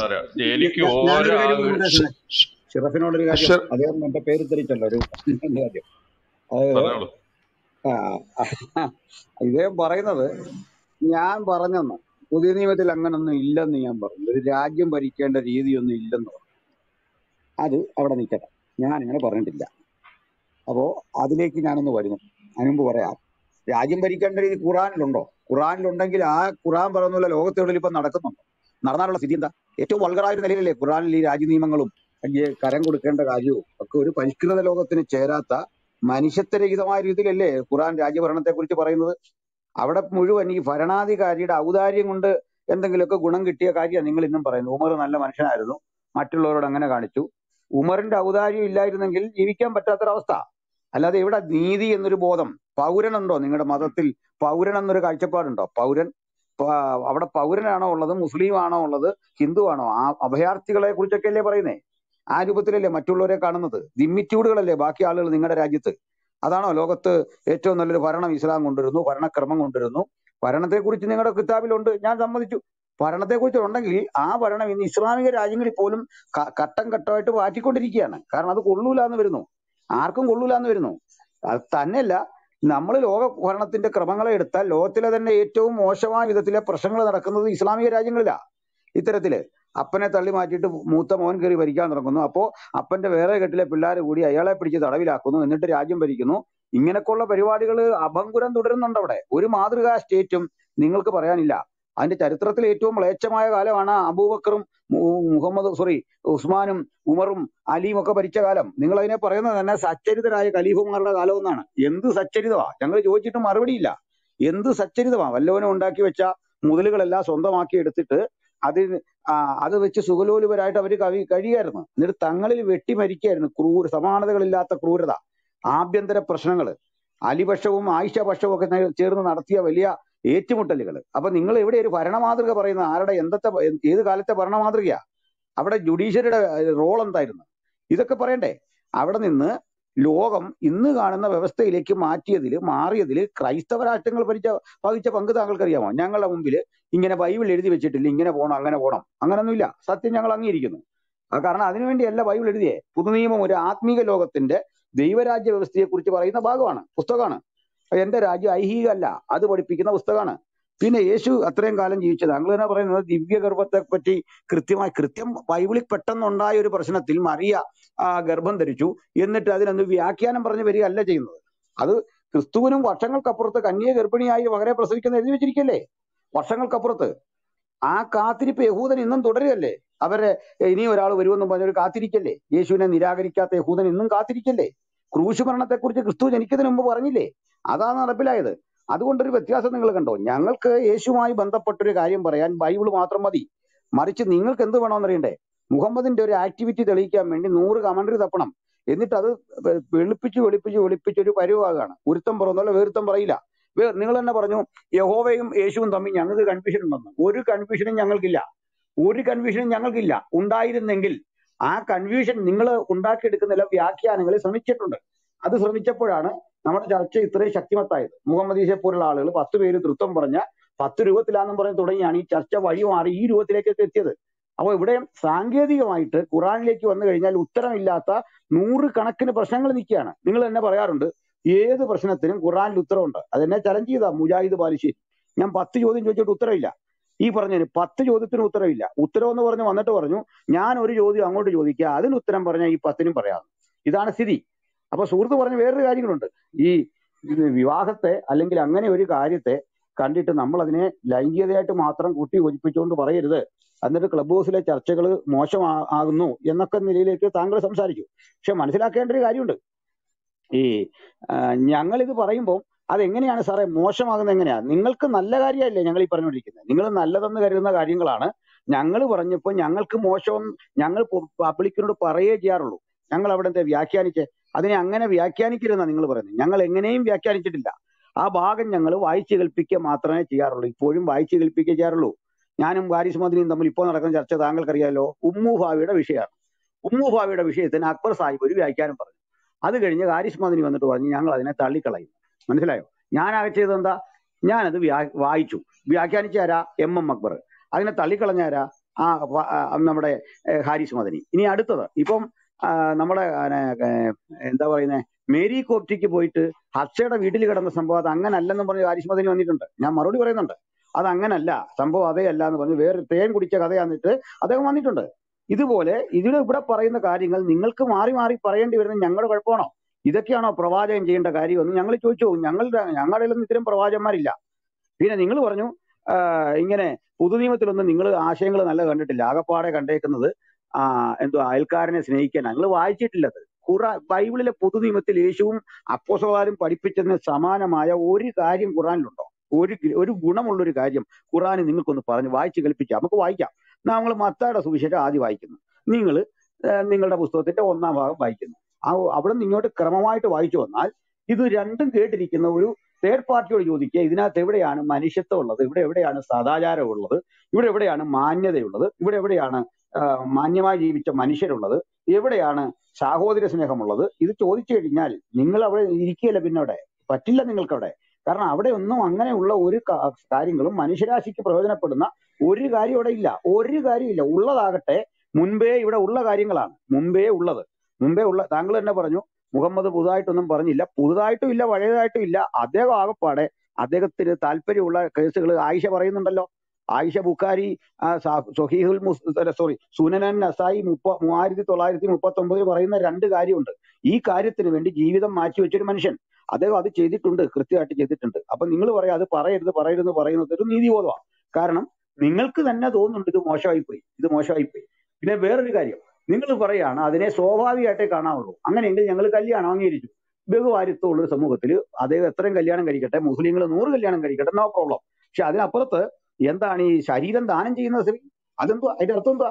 ശരീരം ദാനം ചെയ്യുന്ന സ്ത്രീയോട് ആയിഷയ്ക്ക് അറപ്പും വെറുപ്പും തോന്നാൻ കാരണം ഞങ്ങൾക്ക് മാത്രമാണോ? ഞങ്ങൾക്ക് മാത്രമാണോ തോന്നേ?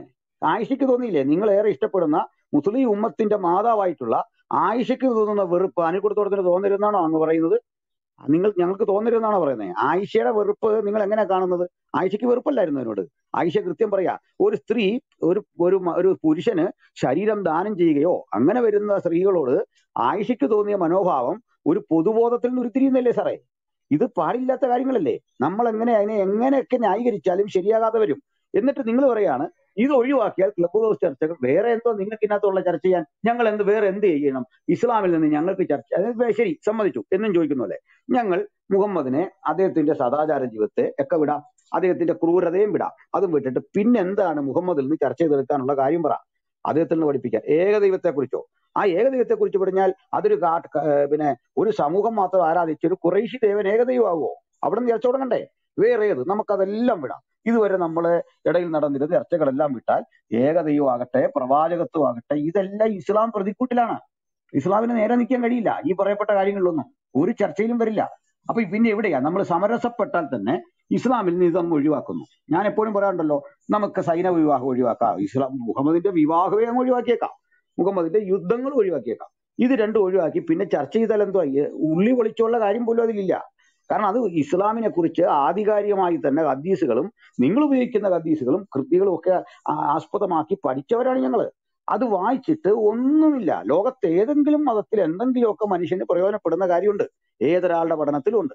പക്ഷേ ഒന്നുമില്ലാത്തൊരു കാര്യം ഞാൻ മനസ്സിലാക്കുന്നത് ഇസ്ലാമിലാണ്. ഉണ്ടെങ്കിൽ അത് നിങ്ങൾ പറഞ്ഞു കേട്ടിട്ടുമില്ല. പറയുന്നത് ചെറിയൊരു കാര്യം പൊലിപ്പിച്ച് അറബിയിൽ ഇങ്ങനെ പാടി പാടി പാടി ഒരു ജനതയെ പറഞ്ഞിങ്ങനെ ബോധ്യപ്പെടുന്നുണ്ട് അതിന്റെ ഒരു കാര്യമാണ് സ്വന്തം കുഞ്ഞ് മറ്റേ സ്വന്തം കുഞ്ഞിനെ ലാളിക്കരുത്. എവിടെ വെച്ച്? അനാഥ കുട്ടിയുടെ മുമ്പിൽ വെച്ച് ലാളിക്കരുത്. എന്നിട്ട് ഈ അനാഥ കുട്ടികളോടുള്ള ഇസ്ലാമിന്റെ സമീപനം മുഴുവൻ ജാഹിലിയ കാലത്തേക്കാൾ മോശമാകില്ലേ പിന്നെ ചെയ്തത്? മോശമാകില്ലേ സ്വന്തം മക്കളായിട്ട് കാണരുത് എന്നുള്ളൊരു വിചിത്ര നിയമം കൊണ്ടല്ലേ അള്ളാഹു ചെയ്തത്? അനാഥമാക്കിയത് അള്ളാഹു അനാഥമാക്കി അള്ളാഹു പറയും ഇത് അതിലും മോശമാണെന്ന് പറയുന്ന ഒരു നിലയ്ക്ക് വരില്ലേ അല്ലെങ്കിൽ ദൈവമാണെങ്കിൽ. ഇങ്ങനെയല്ലേ കാര്യം. അവിടെ എന്ത് കരമ്പാണ് സാർ ഉള്ളത് നിങ്ങൾ അതിലെ ഞങ്ങൾക്ക് ചർച്ച ചെയ്യാൻ പാകത്തിനുള്ള ഒരു ഇസ്ലാമിക സദാചാര വീക്ഷണം ഇസ്ലാമിന്റെ സാമൂഹ്യ വീക്ഷണം ഇങ്ങനെ ഇസ്ലാമിന്റെ മാനവിക ദർശനം ഇസ്ലാമിന്റെ സ്ത്രീകളോടുള്ള സമീപനം അത് പ്രസംഗമാകരുത്. എന്ന് പറഞ്ഞാൽ നബി ഇങ്ങനെ പറഞ്ഞു സ്ത്രീയുടെ കാൽക്കച്ചുവട്ടിലാണ് അമ്മയുടെ കാൽച്ചുവട്ടിലാണ് സ്വർഗം ഇങ്ങനെ കഥ കേൾക്കേണ്ട കാര്യമൊന്നുമില്ല. പ്രായോഗികമായി നബി ഇതിനകത്ത് കാണിച്ച കാര്യങ്ങൾ എന്താണെന്ന് പറഞ്ഞോ അല്ലെങ്കിൽ സഹാബിമാര് ചെയ്തതോ ഒക്കെ ചെയ്തു വെച്ചൊരു ചർച്ചയ്ക്ക് നിങ്ങൾ റെഡിയാണോ? ഇതും വിട്. ഇനിയും നബിയെ നമുക്ക് വിടാം. ഇസ്ലാമിക ചരിത്രത്തിലേക്ക് പോയാലോ? അവിടെ എന്താ സ്ഥിതി? ഇസ്ലാമിക ചരിത്രത്തിൽ ശാന്തിയും സമാധാനവും സ്വസ്ഥതയുള്ള ഒരു കാലഘട്ടം ഉണ്ടെങ്കിൽ അത് പറ. ആ കാലഘട്ടത്തെ പറ്റി ചർച്ച എല്ലാവർക്കും കിട്ടണം. അതായത് ആ സമൂഹത്തിലെ മുഴുവൻ ആൾക്കും കിട്ടണം. ഞാൻ സംഘികളോട് പതിവായിട്ട് പറയുന്ന പോലെ ഇന്ത്യയ്ക്ക് പണ്ട് മഹത്തായ ഒരു ഭൂതകാലമുണ്ട്. ആ ഭൂതകാലം ഭയങ്കര സുഖത്തിന്റെതായിരുന്നു. വിജ്ഞാന കേന്ദ്രമായിരുന്നു ഇന്ത്യ. ലോകത്തിൽ നിന്ന് ആളുകളെല്ലാം ഇവിടെ വന്ന് പഠിച്ചു. അപ്പൊ ഈ ലോകത്തിൽ നിന്ന് പല ആളുകൾ വന്ന് പഠിക്കുമ്പോൾ ഇവിടെ ഇരുന്ന് പഠിക്കുന്നവന്റെ ചെവിയിൽ ഈ ഒരുക്കി ഒഴിക്കുക. അപ്പൊ നിങ്ങൾ പറയുന്ന സുഖസൗകര്യങ്ങൾ സമൂഹത്തിന്റെ എല്ലായിടത്തേക്കും ഡിസ്ട്രിബ്യൂട്ട് ചെയ്യപ്പെട്ടിട്ടുണ്ടോ? അതിന് തടസ്സമായ കാര്യങ്ങൾ എന്തായിരുന്നു? എല്ലാ മനുഷ്യനും ഒരുപോലെ സുഖവും ശാന്തിയും കിട്ടുന്ന അവന്റെ പൗരബോധം അംഗീകരിക്കുന്ന അവന്റെ മനുഷ്യാവകാശം അംഗീകരിക്കുന്ന ഒരു സിസ്റ്റം ഇസ്ലാമിൽ ഏതെങ്കിലും കാലത്ത് നബിയുടെ കാലത്തോ ആയിരത്തി നാനൂറ് കൊല്ലത്തിലുള്ള ഇടയിൽ ഉണ്ടായിട്ടുണ്ടോ? ഇതൊക്കെ ചർച്ചയാകാം നമുക്ക് ബാക്കി വേസ്റ്റ് ചർച്ചകൾ വിടാം. എനിക്കത് വേസ്റ്റായിട്ടാണ് തോന്നുന്നത് താത്വികമായ ചർച്ച തന്നെ ചെയ്യാം. അതിന് ശിറവ് തയ്യാറായിക്കോളൂ. ഞങ്ങൾ റെഡിയാണ് ഓക്കെ ഓക്കെ താങ്ക് യു ഞാൻ പാസ്റ്റർ ഇപ്പൊ ഇവിടെ ഞാൻ ഇപ്പൊ പറഞ്ഞ അനിൽക്കുടത്തോട്ട് പാസ്റ്റർ പറഞ്ഞത് അനുസരിച്ചിട്ടുള്ള ഒരു കാര്യം ഞാൻ പറയാം. ഇപ്പൊ ഈ പറയുന്ന കാര്യങ്ങളെല്ലാം നിങ്ങൾ പറയുന്നു മുഹമ്മദ് നബി അലൈഹി സല്ലല്ലാഹു സല്ലല്ലാഹു അലൈഹി സ്വല്ലമ്മയുടെ കാലത്ത് ഉണ്ടായിരുന്ന കാര്യങ്ങളാണെന്ന് പറയുന്ന കാര്യങ്ങളെല്ലാം ഇതിനൊക്കെ ഇസ്ലാമിക ചരിത്രകാരന്മാരും ഇസ്ലാമിക പ്രബോധനങ്ങളിലൂടെയും ഈ കാര്യങ്ങളൊക്കെ വ്യക്തമായിട്ട് മറുപടി പറഞ്ഞിട്ടുള്ളതാണ്. അനിൽക്കുടത്തോട്ടത്തിന്റെ കുടിത്തോട്ടം പാസ്റ്ററുടെ ഏത് ചോദ്യത്തിനാണ് മറുപടി കിട്ടാത്ത ഒരു ചോദ്യത്തിനും മറുപടി കിട്ടാത്തതായിട്ടില്ല. ഇതിനു മുമ്പ് ഇതിനുള്ള ഇസ്ലാമിക ഡിബേറ്റുകളും കാര്യങ്ങളൊക്കെ ഒരുപാട് ഇവിടെ കേരളത്തിന്റെ പല യൂട്യൂബ് ചാനലുകളിലും നോക്കിയാൽ ഇന്നറിയാം പഴയ കാലങ്ങളിലും ഇപ്പോഴും നടന്നുകൊണ്ടിരിക്കുന്നതായിട്ടുള്ള യൂട്യൂബ് ചാനൽ. എല്ലാ ചോദ്യങ്ങൾക്കും നിങ്ങൾക്ക് തക്കതായിട്ടുള്ള മറുപടികൾ തന്നെ തരുന്നുണ്ട്. ഞങ്ങൾ ഈ വീഡിയോ ഒക്കെ കാണുന്ന ആളുകൾ തന്നെയാണ്. അപ്പൊ അതിനകത്ത് ഇല്ല എന്നൊന്നും പറയേണ്ട. താങ്കളുടെ ഏതെങ്കിലും ചോദ്യങ്ങളുണ്ടെങ്കിൽ താങ്കൾ എഴുതി അറിയിക്കും. ഞങ്ങൾ അതിന് മറുപടി പറയാൻ തയ്യാറാണ്. പിന്നെ ഇതിനകത്ത് വചനം വായിക്കാനായിട്ട് പറഞ്ഞ നമ്മുടെ ഇദ്ദേഹത്തിന്റെ പേര്. വചനങ്ങളൊക്കെ എടുത്ത് വായിക്കുവാണെങ്കിൽ ഇതൊരു ഒരു പ്രവാചകൻ എഴുതിയ വചനത്തെക്കാളും മോശമായിട്ട് എഴുതിയിരിക്കുന്ന വചനങ്ങൾ നമ്മളുടെ നിങ്ങളുടെ ഗ്രന്ഥങ്ങളിൽ തന്നെ എഴുതി വെച്ചിരിക്കുകയാണ്. ഹദീസുകളിലൂടെ മറ്റേ ആളുകൾ പറഞ്ഞതിനേക്കാൾ കൂടുതൽ ഗ്രന്ഥമാണ് നിങ്ങൾ എന്റെ അടുത്ത് ചോദിച്ചില്ല ഒരു വചനം വായിക്കാൻ പറഞ്ഞു. ഞാൻ വായിക്കാൻ ഇവിടെ കൊള്ളത്തിലത്തിൽ ഒരു വചനം പറയാം. എന്താണ്? നഹൂമിന്റെ മൂന്നിൽ അഞ്ച്. നിങ്ങൾക്ക് വായിക്കാൻ പറ്റുമോ അത്? ഇവിടെ ഒരാ മനുഷ്യരുടെ കുട്ടികളുടെ മുമ്പിൽ വായിക്കാൻ പറ്റുന്ന വചനമാണോ? പറഞ്ഞു ആ, വായിക്കൂ. വസ്ത്രാഗ്രങ്ങളെ വരെ നിന്റെ മുഖം വരെ പൊക്കി എന്ന് പറഞ്ഞ തുണി പൊക്കി എന്നുള്ളതാണ് അതിന്റെ അർത്ഥം. ജാതികളെ നിന്റെ നഗ്നതയും രാജ്യത്തിന്റെ നിന്റെ നാണിടവും കാണിക്കൂ. ദേവദൈവം ദൈവം പറഞ്ഞാണ്. എന്റെ സൈന്യത്തിന്റെ യഹോവയുടെ അരുളപ്പാട്. ഞാൻ അമേദ്യം നിന്റെ മേൽ എറിഞ്ഞ് കുലിച്ചതയും നിന്നാവി നിന്ദാവി വിഷയമാക്കും. ഇത് ഏത് ബൈബിളിലാണ് എഴുതി വെച്ചത് ഇത് ബൈബിൾ തന്നെയാണോ നമുക്ക് സംശയം വരും. ഇത് വായിച്ചു കഴിയുമ്പോൾ ഒരു ഇതൊരു ഒരു ദൈവിക ഗ്രന്ഥത്തിൽ എഴുതാൻ കഴിയുന്ന സാധനങ്ങളാണ് ഇത്. അപ്പൊ ആ ഒരു കാര്യങ്ങൾ അത് എഴുത്ത് വായിച്ചുകൊണ്ട് ഞാൻ പറയുകയാണ് ഇത് നിങ്ങളുടെ ഗ്രന്ഥത്തിൽ എഴുതിയിരിക്കുന്നത് ഇന്ന രീതിയിൽ എഴുതിയിരിക്കുന്നതാണെന്ന് വചനം എനിക്കും വായിക്കാൻ പറ്റും. ഇപ്പൊ പല ക്ലബ് ഹൗസ് റൂമുകളിലും പല ആളുകൾ പറഞ്ഞു അജീഷ് അജീഷ് നമുക്ക് വായിപ്പിക്കാം വായിപ്പിക്കാം. അദ്ദേഹത്തെ കൊണ്ട് വായിപ്പിക്കാം. ഷിറോ പറയൂ വേഗത്തിൽ പറയൂ. പ്ലീസ് ആ അപ്പൊ ഞാനാ പറഞ്ഞു വന്നത് നിങ്ങൾ ഫ്ലോ പറയുന്നത് പറയുന്നത് അപ്പോൾ ഇത് എടുത്ത് വായിക്കുന്ന പലരും ഇപ്പം ക്ലബ് ഹൗസിൽ തുടങ്ങിയിട്ടുണ്ട്. നിങ്ങൾ പറഞ്ഞില്ലേ വായിക്കുന്നതിന് നിങ്ങൾ എന്തിനാണ് ഭയപ്പെടുന്നത് എന്തിനാണ് നാണിക്കുന്നത് നിങ്ങളാണ് നാണിക്കുന്നത് നിങ്ങളാണ് ഇപ്പോൾ ഭയപ്പെടുന്നത്. എത്രയോ റൂമുകളിൽ ഇരുന്നാണ് ബൈബിൾ എടുത്ത് വായിക്കുന്നത്. ഇപ്പോൾ ബൈബിൾ എടുത്താലും വളച്ചൊടിച്ചിട്ടൊന്നുമല്ല വായിക്കുന്നത്. ബൈബിൾ വചനങ്ങൾ തന്നെയാണ് വായിക്കുന്നത്. ബൈബിളിൽ എഴുതി വെച്ചിരിക്കുന്ന വാക്യങ്ങൾ തന്നെയാണ് മറ്റുള്ളവരെ തെറ്റിദ്ധരിപ്പിക്കാനാണെങ്കിലും അല്ലെ അല്ലാത്ത രീതിയിലാണെങ്കിലും. അതിന്ന് ഓരോരുത്തരും എടുത്ത് വായിക്കാൻ തുടങ്ങേണ്ട സിറ്റുവേഷനിലേക്ക് നിങ്ങൾക്കാണ് വന്നത്. പിന്നെ നിങ്ങൾ ഈ വിമർശനങ്ങൾ ഇനി നബി സല്ലാ അലൈഹി സ്വലമയുടെ മുകളിൽ പറയാൻ കഴിയാത്ത കാര്യങ്ങളൊന്നും കൂടുതലായിട്ടൊന്നും ഇവിടെ ആരും പറഞ്ഞു കഴിഞ്ഞിട്ടൊന്നുമില്ല. ഇനി പറയാനുള്ളതും ഇതിൽ കൂടുതലായിട്ട് നിങ്ങൾക്കൊന്നും പറയാനുമില്ല. അപ്പൊ അതുകൊണ്ടുള്ള ഭയപ്പാടോ അല്ലെങ്കിൽ അതിൽ നിന്ന് ഒളിച്ചോടാനായിട്ടൊന്നുമല്ല. ഇത് മനുഷ്യരുടെ ഉള്ളിലേക്ക് എങ്ങനെ പ്രതിഫലിക്കുന്നു? അല്ലെങ്കിൽ സാധാരണക്കാരായ സത്യക്രിസ്ത്യാനികളായിട്ടുള്ള ആളുകളുണ്ട് അല്ലെങ്കിൽ മുസ്ലിമുകളായിട്ടുള്ള ആളുകളുണ്ട് ഹിന്ദുക്കളുണ്ട് ഇവരെ ഇത് ഏത് രീതിയിൽ പ്രതിഫലിപ്പിക്കുന്നു എന്നുള്ളത് മനസ്സിലാക്കിയിട്ടാണ് നമ്മൾ ഇതിന് വേർതിരിക്കാൻ തയ്യാറാകുന്നത്. അല്ലാതെ നിങ്ങൾ ഇനിയിപ്പോൾ ഇത് പറഞ്ഞുകൊണ്ട് ഇസ്ലാം മതത്തെ ഇല്ലാതാക്കാമെന്നോ അല്ലെങ്കിൽ ഇസ്ലാം മതത്തിന്റെ പ്രചാരം നടത്താമെന്നല്ല ഇത് കേട്ടുകൊണ്ടിരിക്കുന്നോ അല്ലെങ്കിൽ ഇത് യൂട്യൂബ് വീഡിയോകളിലൊക്കെ അപ്ലോഡ് ചെയ്യുമ്പോൾ ഒരു വളർന്നു വരുന്ന സമൂഹത്തിനുണ്ടാകുന്ന പ്രത്യാഘാതങ്ങൾ വളരെ ദോഷകരമാണ്.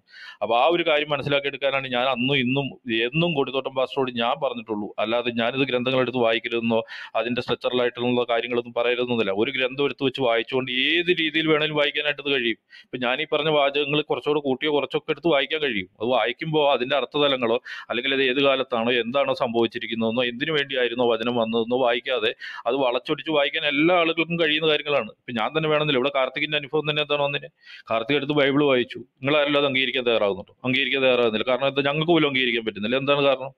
അത് ആ രീതിയിൽ വായിക്കുന്നുകൊണ്ടാണ് അപ്പൊ അതേ രീതിയിൽ വായിക്കാനായിട്ടുള്ള മറ്റേ ആളുകളും തയ്യാറായി വരുന്നു എന്നുള്ളതാണ് അതിന്റെ ഒരു അത് വരുത്തി വെച്ചത് നിങ്ങൾ തന്നെയാണ്. നിങ്ങൾ പഴയ ചരിത്രങ്ങൾ പറയുമ്പോൾ ഇതിനകത്ത് ഇവിടെ കഴിഞ്ഞ ദിവസവും നമ്മുടെ ഈസാ സാഹിബ് ഇവിടെ പറഞ്ഞിട്ടുണ്ട് നിങ്ങൾ പത്ത് മിനിറ്റ് സംസാരിച്ച് ഞാൻ കേട്ടോണ്ടിരുന്നില്ല സഹോദര. എന്റെ രണ്ട് മിനിറ്റ് സംസാരിക്കണ്ടേ?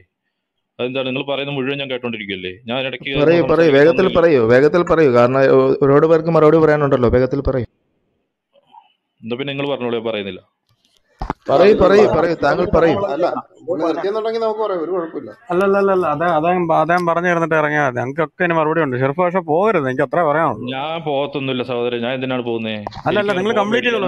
അല്ലല്ല അദ്ദേഹം പറയട്ടെ. അപ്പൊ ഈ രീതിയിലൊക്കെ ഉള്ള കാര്യങ്ങളൊക്കെ എല്ലാവരും ഇവിടെ ചെയ്തു തുടങ്ങിയിട്ടുണ്ട്. അപ്പൊ ഇതാണ് ഇതിന്റെ പരിണത ഫലം. വരുന്നവനും നിന്നുന്നവനും കൊള്ളുന്നവനും എടുക്കുന്നവനും എല്ലാം കിട്ടും ഇതിനകത്ത്. അപ്പൊ അത്രയും കാര്യങ്ങൾ എനിക്ക് ഇതിനകത്ത് പറയാനുള്ളൂ. ആ ഞാനൊരു പറയാം. അതായത് ഓക്കെ ഓക്കെ ഓക്കെ. പാസ്റ്റർ പറയാം പാസ്റ്റർ പ്ലീസ്. അതായത് ഇപ്പൊ നഹൂമിൽ നിന്നൊരു ഭാഗം വായിക്കുന്നു. ഇത് എന്താണ്? ഒരു സ്ത്രീയുടെ കാര്യമാണോ? ആരുടെ നഗ്നത കാണിക്കുന്ന കാര്യമാണ്? ഒരു പുരുഷന്റെ കാര്യമാണോ? ഒരു രാഷ്ട്രത്തിന്റെ പ്രശ്നമാണോ? രാഷ്ട്രത്തെയാണോ ഉദ്ദേശിക്കുന്നതെന്ന് അറിയാൻ ആ ആ പോർഷൻ കംപ്ലീറ്റ് വായിച്ചാൽ മതി. നിസാരമാണ് ഇസ്രയേലൈറ്റ്സിന്റെ ചില പ്രശ്നങ്ങളെ അനാവരണം ചെയ്യും എന്ന് മാത്രമാണ് അതിന്റെ അർത്ഥം. മാത്രമല്ല അത്തരം വിഷയങ്ങളാൽ അവർ സമൂഹത്തിൽ മാലിന്യവൽക്കരിക്കപ്പെടും. ഇവ രണ്ടുമാണ് ആ പറഞ്ഞതിന്റെ സിമ്പിളായ മീനിങ് അത് വായിച്ചാൽ ആർക്കും ഒരു സ്ത്രീ നഗ്നയാകുന്നതായിട്ട് അവിടെ തോന്നുന്നില്ല. ഒരു കാര്യം. ഇനി ഇത് ഒരു ഇസ്ലാമിന് ഉദ്ധരിക്കുമ്പോൾ അവിടെയാണ് പ്രശ്നം കൂടുതൽ വരുന്നത്. ഇത് ആദിയോടന്തം ഇത്തരം കേസില്ലാത്ത ഹദീസുകളെ ഇല്ല. ഇത്തരം വിഷയങ്ങൾ. ഇതിനെ വിട്ടൊരു ഏർപ്പാടില്ല. അത്തരം ഒരു പുസ്തകത്തിൽ ഇരുന്നുണ്ടായി നീതിബോധം പറയുന്നത്. കഴിഞ്ഞ ആഴ്ച വരെ എഴുന്നള്ളിച്ച് കാർത്തികിനെ കൊണ്ടുവന്ന ആളുകൾ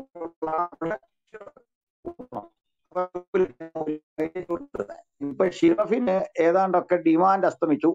പഴയ നാൽപ്പത് പേരിലേക്ക് അമ്പത് പേരിലേക്ക് മറ്റേ സോറി കാർത്തിക് ഒതുങ്ങിയപ്പോ ഇവർ പറ്റില്ല ഇനി ഒരു കാര്യം കേട്ടോ. ഒരു ഇസ്ലാം ക്രിസ്ത്യൻ ഡിബേറ്റിലെ വലിയ പ്രതിസന്ധി ഇതുവരെ നിങ്ങൾ പരിഹരിച്ചിട്ടില്ല. എന്താന്ന് വെച്ചാൽ ഇപ്പൊ ഈ നഹൂമിന്റെ പ്രവചനം എടുത്തു. ആ നഹൂമിന്റെ പ്രവചനത്തെ പറ്റി ഞങ്ങൾക്കറിയേണ്ടത് ഇത് തന്നെയായിരുന്നു മുഹമ്മദിന്റെ നിലപാട്. അത് പറയാത്ത എന്താ നിങ്ങൾക്ക് മുഹമ്മദിന്റെ നിലപാട് പറയാത്ത ഇതേ പറ്റി എന്ത് പറഞ്ഞു? എന്താ പറയാതെ പോയത്? ഇത്ര വലിയ പുള്ളിയല്ലേ?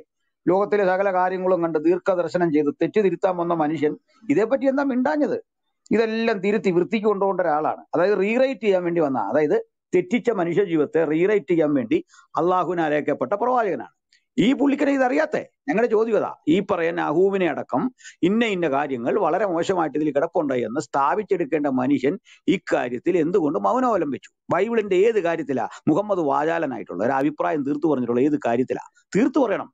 അത് മനസ്സിലാക്കണം. അതായത് ക്ലാരിറ്റി വരുത്തേണ്ട ആൾ മുഹമ്മദ് ആയിരുന്നില്ലേ?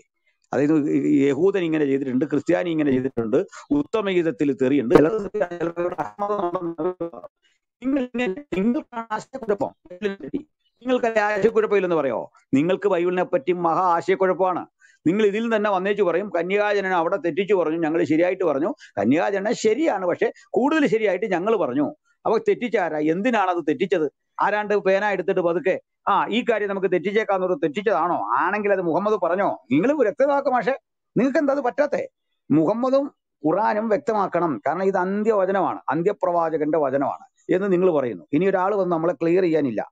ഇബിനു ഇസ്ഹാക്കോ മുക്കാരി ഒന്നും ഇവിടെ നിന്ന് ലീഗലി പെർമിറ്റഡ് ആയ ആളല്ല. ബുക്കാരിയെ ദൈവം അയച്ചാണോ? അള്ളാഹു അയച്ചൊന്നുമല്ലോ ബുക്കാരി ഇസ്ലാമും പറയാം. അത് കള. അവരെയൊക്കെ വിട്. മുഴുവൻ പണ്ഡിതന്മാരെയും കളയും. നമുക്ക് ക്ലിയർ ആയി പോകാമായിരുന്നല്ലോ. ഒറ്റ നിമിഷം കൊണ്ട് ക്രിസ്ത്യാനിറ്റി ഈ യഹൂദ മതത്തിന്റെ നട്ടലൊടിക്കായിരുന്നല്ലോ. അവ പിന്നെ ഇവിടെ ഉണ്ടാകുമായിരുന്നില്ലല്ലോ. മുഹമ്മദ് ക്ലിയർ ആയിട്ടൊന്ന് പറയാം. വായ തുറന്നിരുന്നെങ്കിൽ.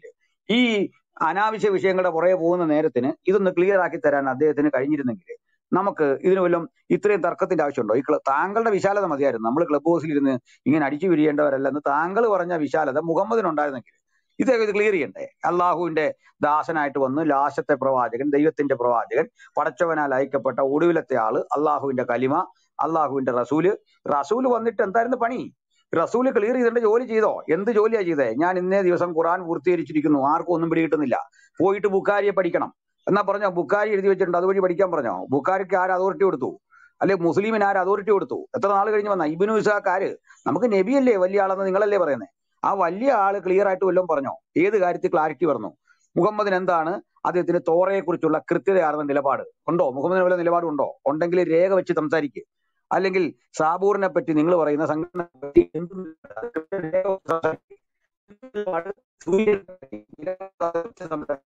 പുസ്തകം നിങ്ങൾ ഞങ്ങളുടെ സംസാരിക്കാൻ വന്നിട്ട് നിങ്ങൾ ചെയ്യുന്ന ഇരട്ടത്താപ്പ. ഇടയ്ക്കിടയ്ക്ക് അതിൽ നിന്ന് ഒരു ഭാഗം എടുത്തേച്ച് കളിയാക്കാനായിട്ട് ശ്രമിക്കും. കളിയാക്കുമ്പോൾ നിങ്ങൾ സ്വന്തം മുഖത്തേക്കൂടെ മുമ്പ് പറഞ്ഞ വലം വാരി എറിയാണ് സ്വന്തം മുഖത്തേക്കൂടെ. കാരണം എന്താണെന്ന് വെച്ചാൽ മുഹമ്മദിനെ പറ്റി ഒന്നും മിണ്ടുന്നില്ല.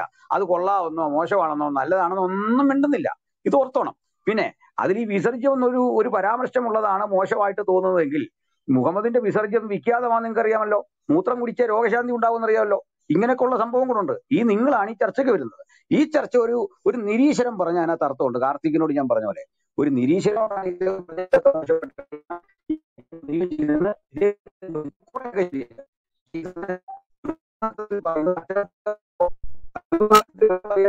ആ അധ്യായം മുഴുവൻ വായിച്ച പോരെ. അത് ആരും വേണ്ട. നിങ്ങൾ നിങ്ങൾ വായിച്ചാൽ മതി.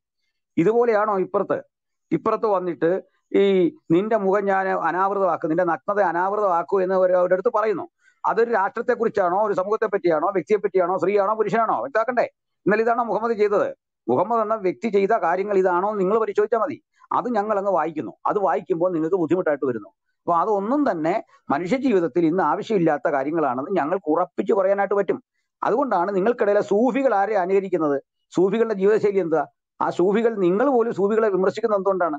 അതിന്റെ കാരണം ഇത്രേ ഉള്ളൂ. സൂഫികൾ നേരെ ചൊവ്വേ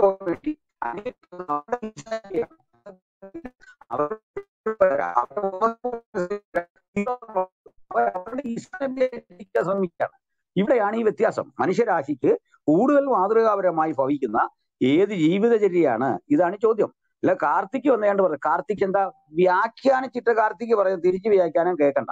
ചോദ്യം വ്യാഖ്യാനിക്കും ഉത്തരം വ്യാഖ്യാനം വേണ്ട. അപ്പൊ പിന്നെ അതങ്ങ് അക്സെപ്റ്റ് ചെയ്താൽ മതിയില്ലേ? യേശുവിന്റെ മാർവിലേക്ക് യോവന്നാൻ ചാരി കിടന്നു യേശുവിന്റെ മാറിൽ ചാരി കിടന്നു എന്നുള്ളതിന് അദ്ദേഹം പറയുന്നത് അത് ഹോമോസെക്ഷുവാലിറ്റിയാണ് അത് വ്യാഖ്യാനം അല്ലേ സാറേ? ആ വ്യാഖ്യാനം ഞങ്ങൾ അതങ്ങനെ അക്സെപ്റ്റ് ചെയ്യണോ? ഇങ്ങനെ പറയാൻ ആർക്കാ പാട്? ഏതിനെ കുറിച്ച് എന്താ പാട്? തിരിച്ച് രണ്ട് സാമ്പിൾ കൊടുത്തപ്പോഴേക്ക് തിരിച്ചു പോയല്ലോ? എന്ത് പറ്റി? രണ്ട് സാമ്പിൾ പുലി വരുന്നതിന് മുമ്പ് രണ്ട് സാമ്പിൾ കൊടുത്തേ. ഹനുമാന്റെ കാര്യമൊക്കെ രണ്ടെണ്ണം കൊടുത്തതിന് തിരിച്ചു പോയി. എത്ര കരച്ചിലായിരുന്നു റൂമുകളിൽ പിന്നീട്? ഞങ്ങൾക്ക് ആ പണി ബുദ്ധിമുട്ടായതുകൊണ്ടാ. താല്പര്യം ഇല്ലാത്തതുകൊണ്ടാ അങ്ങോട്ട് പോയി കഴിഞ്ഞാൽ വലിയ പാടാ. അതിനുശേഷം കാർത്തികിനെ കണ്ടോ? കണ്ടവരുണ്ടോ? നോക്ക്. ആലോചിച്ച് നോക്ക്. അപ്പൊ ഈ പറഞ്ഞാൽ ഒറ്റയ്ക്ക് പുള്ളി റൂം എടുത്തുണ്ട് ഏതാണ്ടൊക്കെ വിളിച്ചു പറയുന്നുണ്ട്. അതുപോലെയാണോ?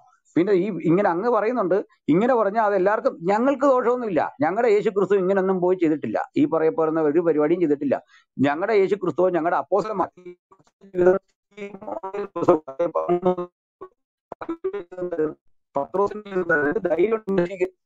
ഉണ്ട് ആശയം ഇതുപോലെ എഴുതുണ്ടോ ആ ധൈര്യം ഉണ്ടെങ്കിൽ അങ്ങനെ തന്നെ ഞാൻ പറയും. ആ കാര്യം തന്നെ പറയും. ഒന്നോ രണ്ടോ പേരാണോ? നൂറുകണക്കിന് യേശുവിന്റെ പിൽക്കാലത്ത് വന്ന അനുഗാമികൾ അവരുടെ ശിഷ്യന്മാര് അവരുടെ ജീവിതത്തിൽ എങ്ങാനും ഇത്തരം സദാചാര വിരുദ്ധമായ ഒരു കേസ് നിങ്ങൾക്ക് ആരോപിക്കാനുണ്ടോ? മുഹമ്മദ് പറയപ്പെട്ട ഏതെങ്കിലും ഒരു ക്രിസ്ത്യാനിറ്റിയുടെ ലീഡർഷിപ്പിലുള്ള ഏതെങ്കിലും ഒരാൾ വിശ്വാസികളിലൊക്കെ കണ്ടേക്കും അനുഗാമികളിൽ കണ്ടേക്കും. പക്ഷേ അതിന്റെ സ്പോക്സ്മാൻമാരിൽ നിങ്ങൾക്ക് ഇങ്ങനെ ഒരു ആരോപണം ഉന്നയിക്കോ? ഇല്ലല്ലോ. എന്നിട്ട് നിങ്ങൾ പറയാം ഞങ്ങളും നിങ്ങൾ ഒരുപോലെയാണ് അത് സംസാരിച്ച് അവിടെ പറയുന്ന പോലെ ഇവിടെ ഉണ്ടാവും ഇവിടെ പറയുന്ന പോലെ അവിടെ ഉണ്ടാവും. അതുകൊണ്ട് അത് നമുക്ക് മിണ്ടണ്ടെന്ന് പറഞ്ഞാൽ എങ്ങനെ നോക്കും ഇതാണ് കാര്യം. എന്ത് നിലപാടാണ് മുഹമ്മദിന് ഓൾ ടെസ്റ്റമെന്റിനെ പറ്റിയുള്ളത്? മുഹമ്മദ് കൃത്യം എന്താ? നഹൂം പ്രവാചകന്റെ വാരി വാഗം എടുത്തിട്ട് ഷിറഫ് പറഞ്ഞ പോലെ പറയാത്തത്? നീ മുഹമ്മദിന് വേറെയാണ് അർത്ഥമെങ്കിൽ ഷിറഫ് പറഞ്ഞ തെറ്റാകുകയല്ലേ? ഞാൻ പറഞ്ഞ അർത്ഥം ആ മുഹമ്മദും വിശ്വസിച്ചെങ്കിൽ തെറ്റാകുകയല്ലേ? ഇനി ഇനിയും ഇനി അതല്ല മുഹമ്മദ് അത് മോശമായിട്ടാണ് ചിന്തിച്ചിരുന്നെങ്കിൽ അതെന്ത് ക്ലിയർ ചെയ്തില്ല? ദൈവത്തിന്റെ വചനം എന്ന് പറയുന്ന ഒരു പുസ്തകത്തിൽ നിങ്ങൾ പറയുന്ന പോലെ അള്ളാഹുവിന്റെ ഒരു കിതാബിനകത്ത് ഒരു മനുഷ്യൻ വന്നിട്ട് അവിടെ യോഗ്യമല്ലാത്ത ഒരു കാര്യം എഴുതി പിടിപ്പിച്ച് വെച്ചിട്ടുണ്ടെങ്കിൽ ആ മനുഷ്യനെ വെളിവാക്കുകയും ആ മനുഷ്യൻ എഴുതി വെച്ചത് തെറ്റാണെന്ന് പറയാനുള്ള പേടിയായിരുന്നു മുഹമ്മദിന്. ധൈര്യമില്ല പോയ മുഹമ്മദിന്. അപ്പൊ അത് വേണ്ടേ? ഇത്രയും വലിയ വില്ലാൾ വീരൻ ആളുകളെ എല്ലാം വെട്ടി രാജ്യം പിടിക്കാൻ പോയ നേരത്തിന് ഈ പുസ്തകം ഒന്ന് കറക്റ്റ് ചെയ്താൽ പോരായിരുന്നോ? അത് വ്യക്തമാക്കിയാൽ പോരായിരുന്നു? നമ്മൾ തങ്ങൾ ഈ അടി നടക്കുവോ? അതൊക്കെ ഈ വഴിയെല്ലാം സൗദയും അവരെല്ലാം കല്യാണം കഴിച്ച നേരത്തിന് ഇത് വ്യക്തമാക്കി തന്നാൽ പോരായിരുന്നോ? ഇത്രയും കിടന്ന് വിഷമിക്കേണ്ട കാര്യമുണ്ടോ? അപ്പൊ അത് താങ്കൾ പറയൂ. താങ്കൾ അതാ മറുപടി പറയേണ്ടത്. അത് കാണാതിരിക്കാൻ ഞാൻ ആ തുടക്കം മുതലേ പറയുന്നുണ്ട്. എന്താ നിങ്ങൾക്ക് ഈ തൗറത്തിനെ കുറിച്ചുള്ള നിങ്ങളുടെ വീക്ഷണം എന്താ? അത് മുഹമ്മദിന്റെ വീക്ഷണമായിരിക്കണം. അല്ലാതെ എനിക്ക് ഷിറഫിന്റെയോ ഇബിനു ഇസാഖിന്റെയോ ഒന്നും കേൾക്കണ്ട. എനിക്ക് ഒരു പണ്ഡിതന്റെയും കേൾക്കണ്ട. കാരണം അന്ത്യ പ്രവാചകനായി പറഞ്ഞ കക്ഷി. അവസാനത്തെ പ്രവാചകൻ. നമ്മുടെ മുമ്പിൽ വേറെ ഒരാളില്ല ചോദ്യം ചോദിക്കാൻ. ആയിഷ ഇതുവെല്ലാം ചോദിച്ചു. ആയിഷയിൽ നിന്നുള്ള നിവേദനം അബൂഹുറയിൽ നിന്നുള്ള നിവേദനം. ഈ വീരന്മാരെന്താ ഇത് ചോദിക്കാഞ്ഞേ? ഇത്തരം കാര്യങ്ങൾ. മനുഷ്യന് പ്രയോജനപ്പെടുന്ന ഞാനും ഷിറവും തമ്മിൽ അടിക്കാതിരിക്കാൻ ഇത്തരം ചോദ്യങ്ങൾ വേണമായിരുന്നല്ലോ ചോദിക്കാൻ. അല്ലെങ്കിൽ ഇനി ഇവർ ചോദിക്കുന്നില്ലെങ്കിൽ ദീർഘദർശിയായ അള്ളാഹു ഇത് കുത്തിപ്പൊക്കി ചോദിപ്പിക്കണ്ടായിരുന്നു. ഞാൻ ഇനി താങ്കൾ ഇനി മറുപടി പറ.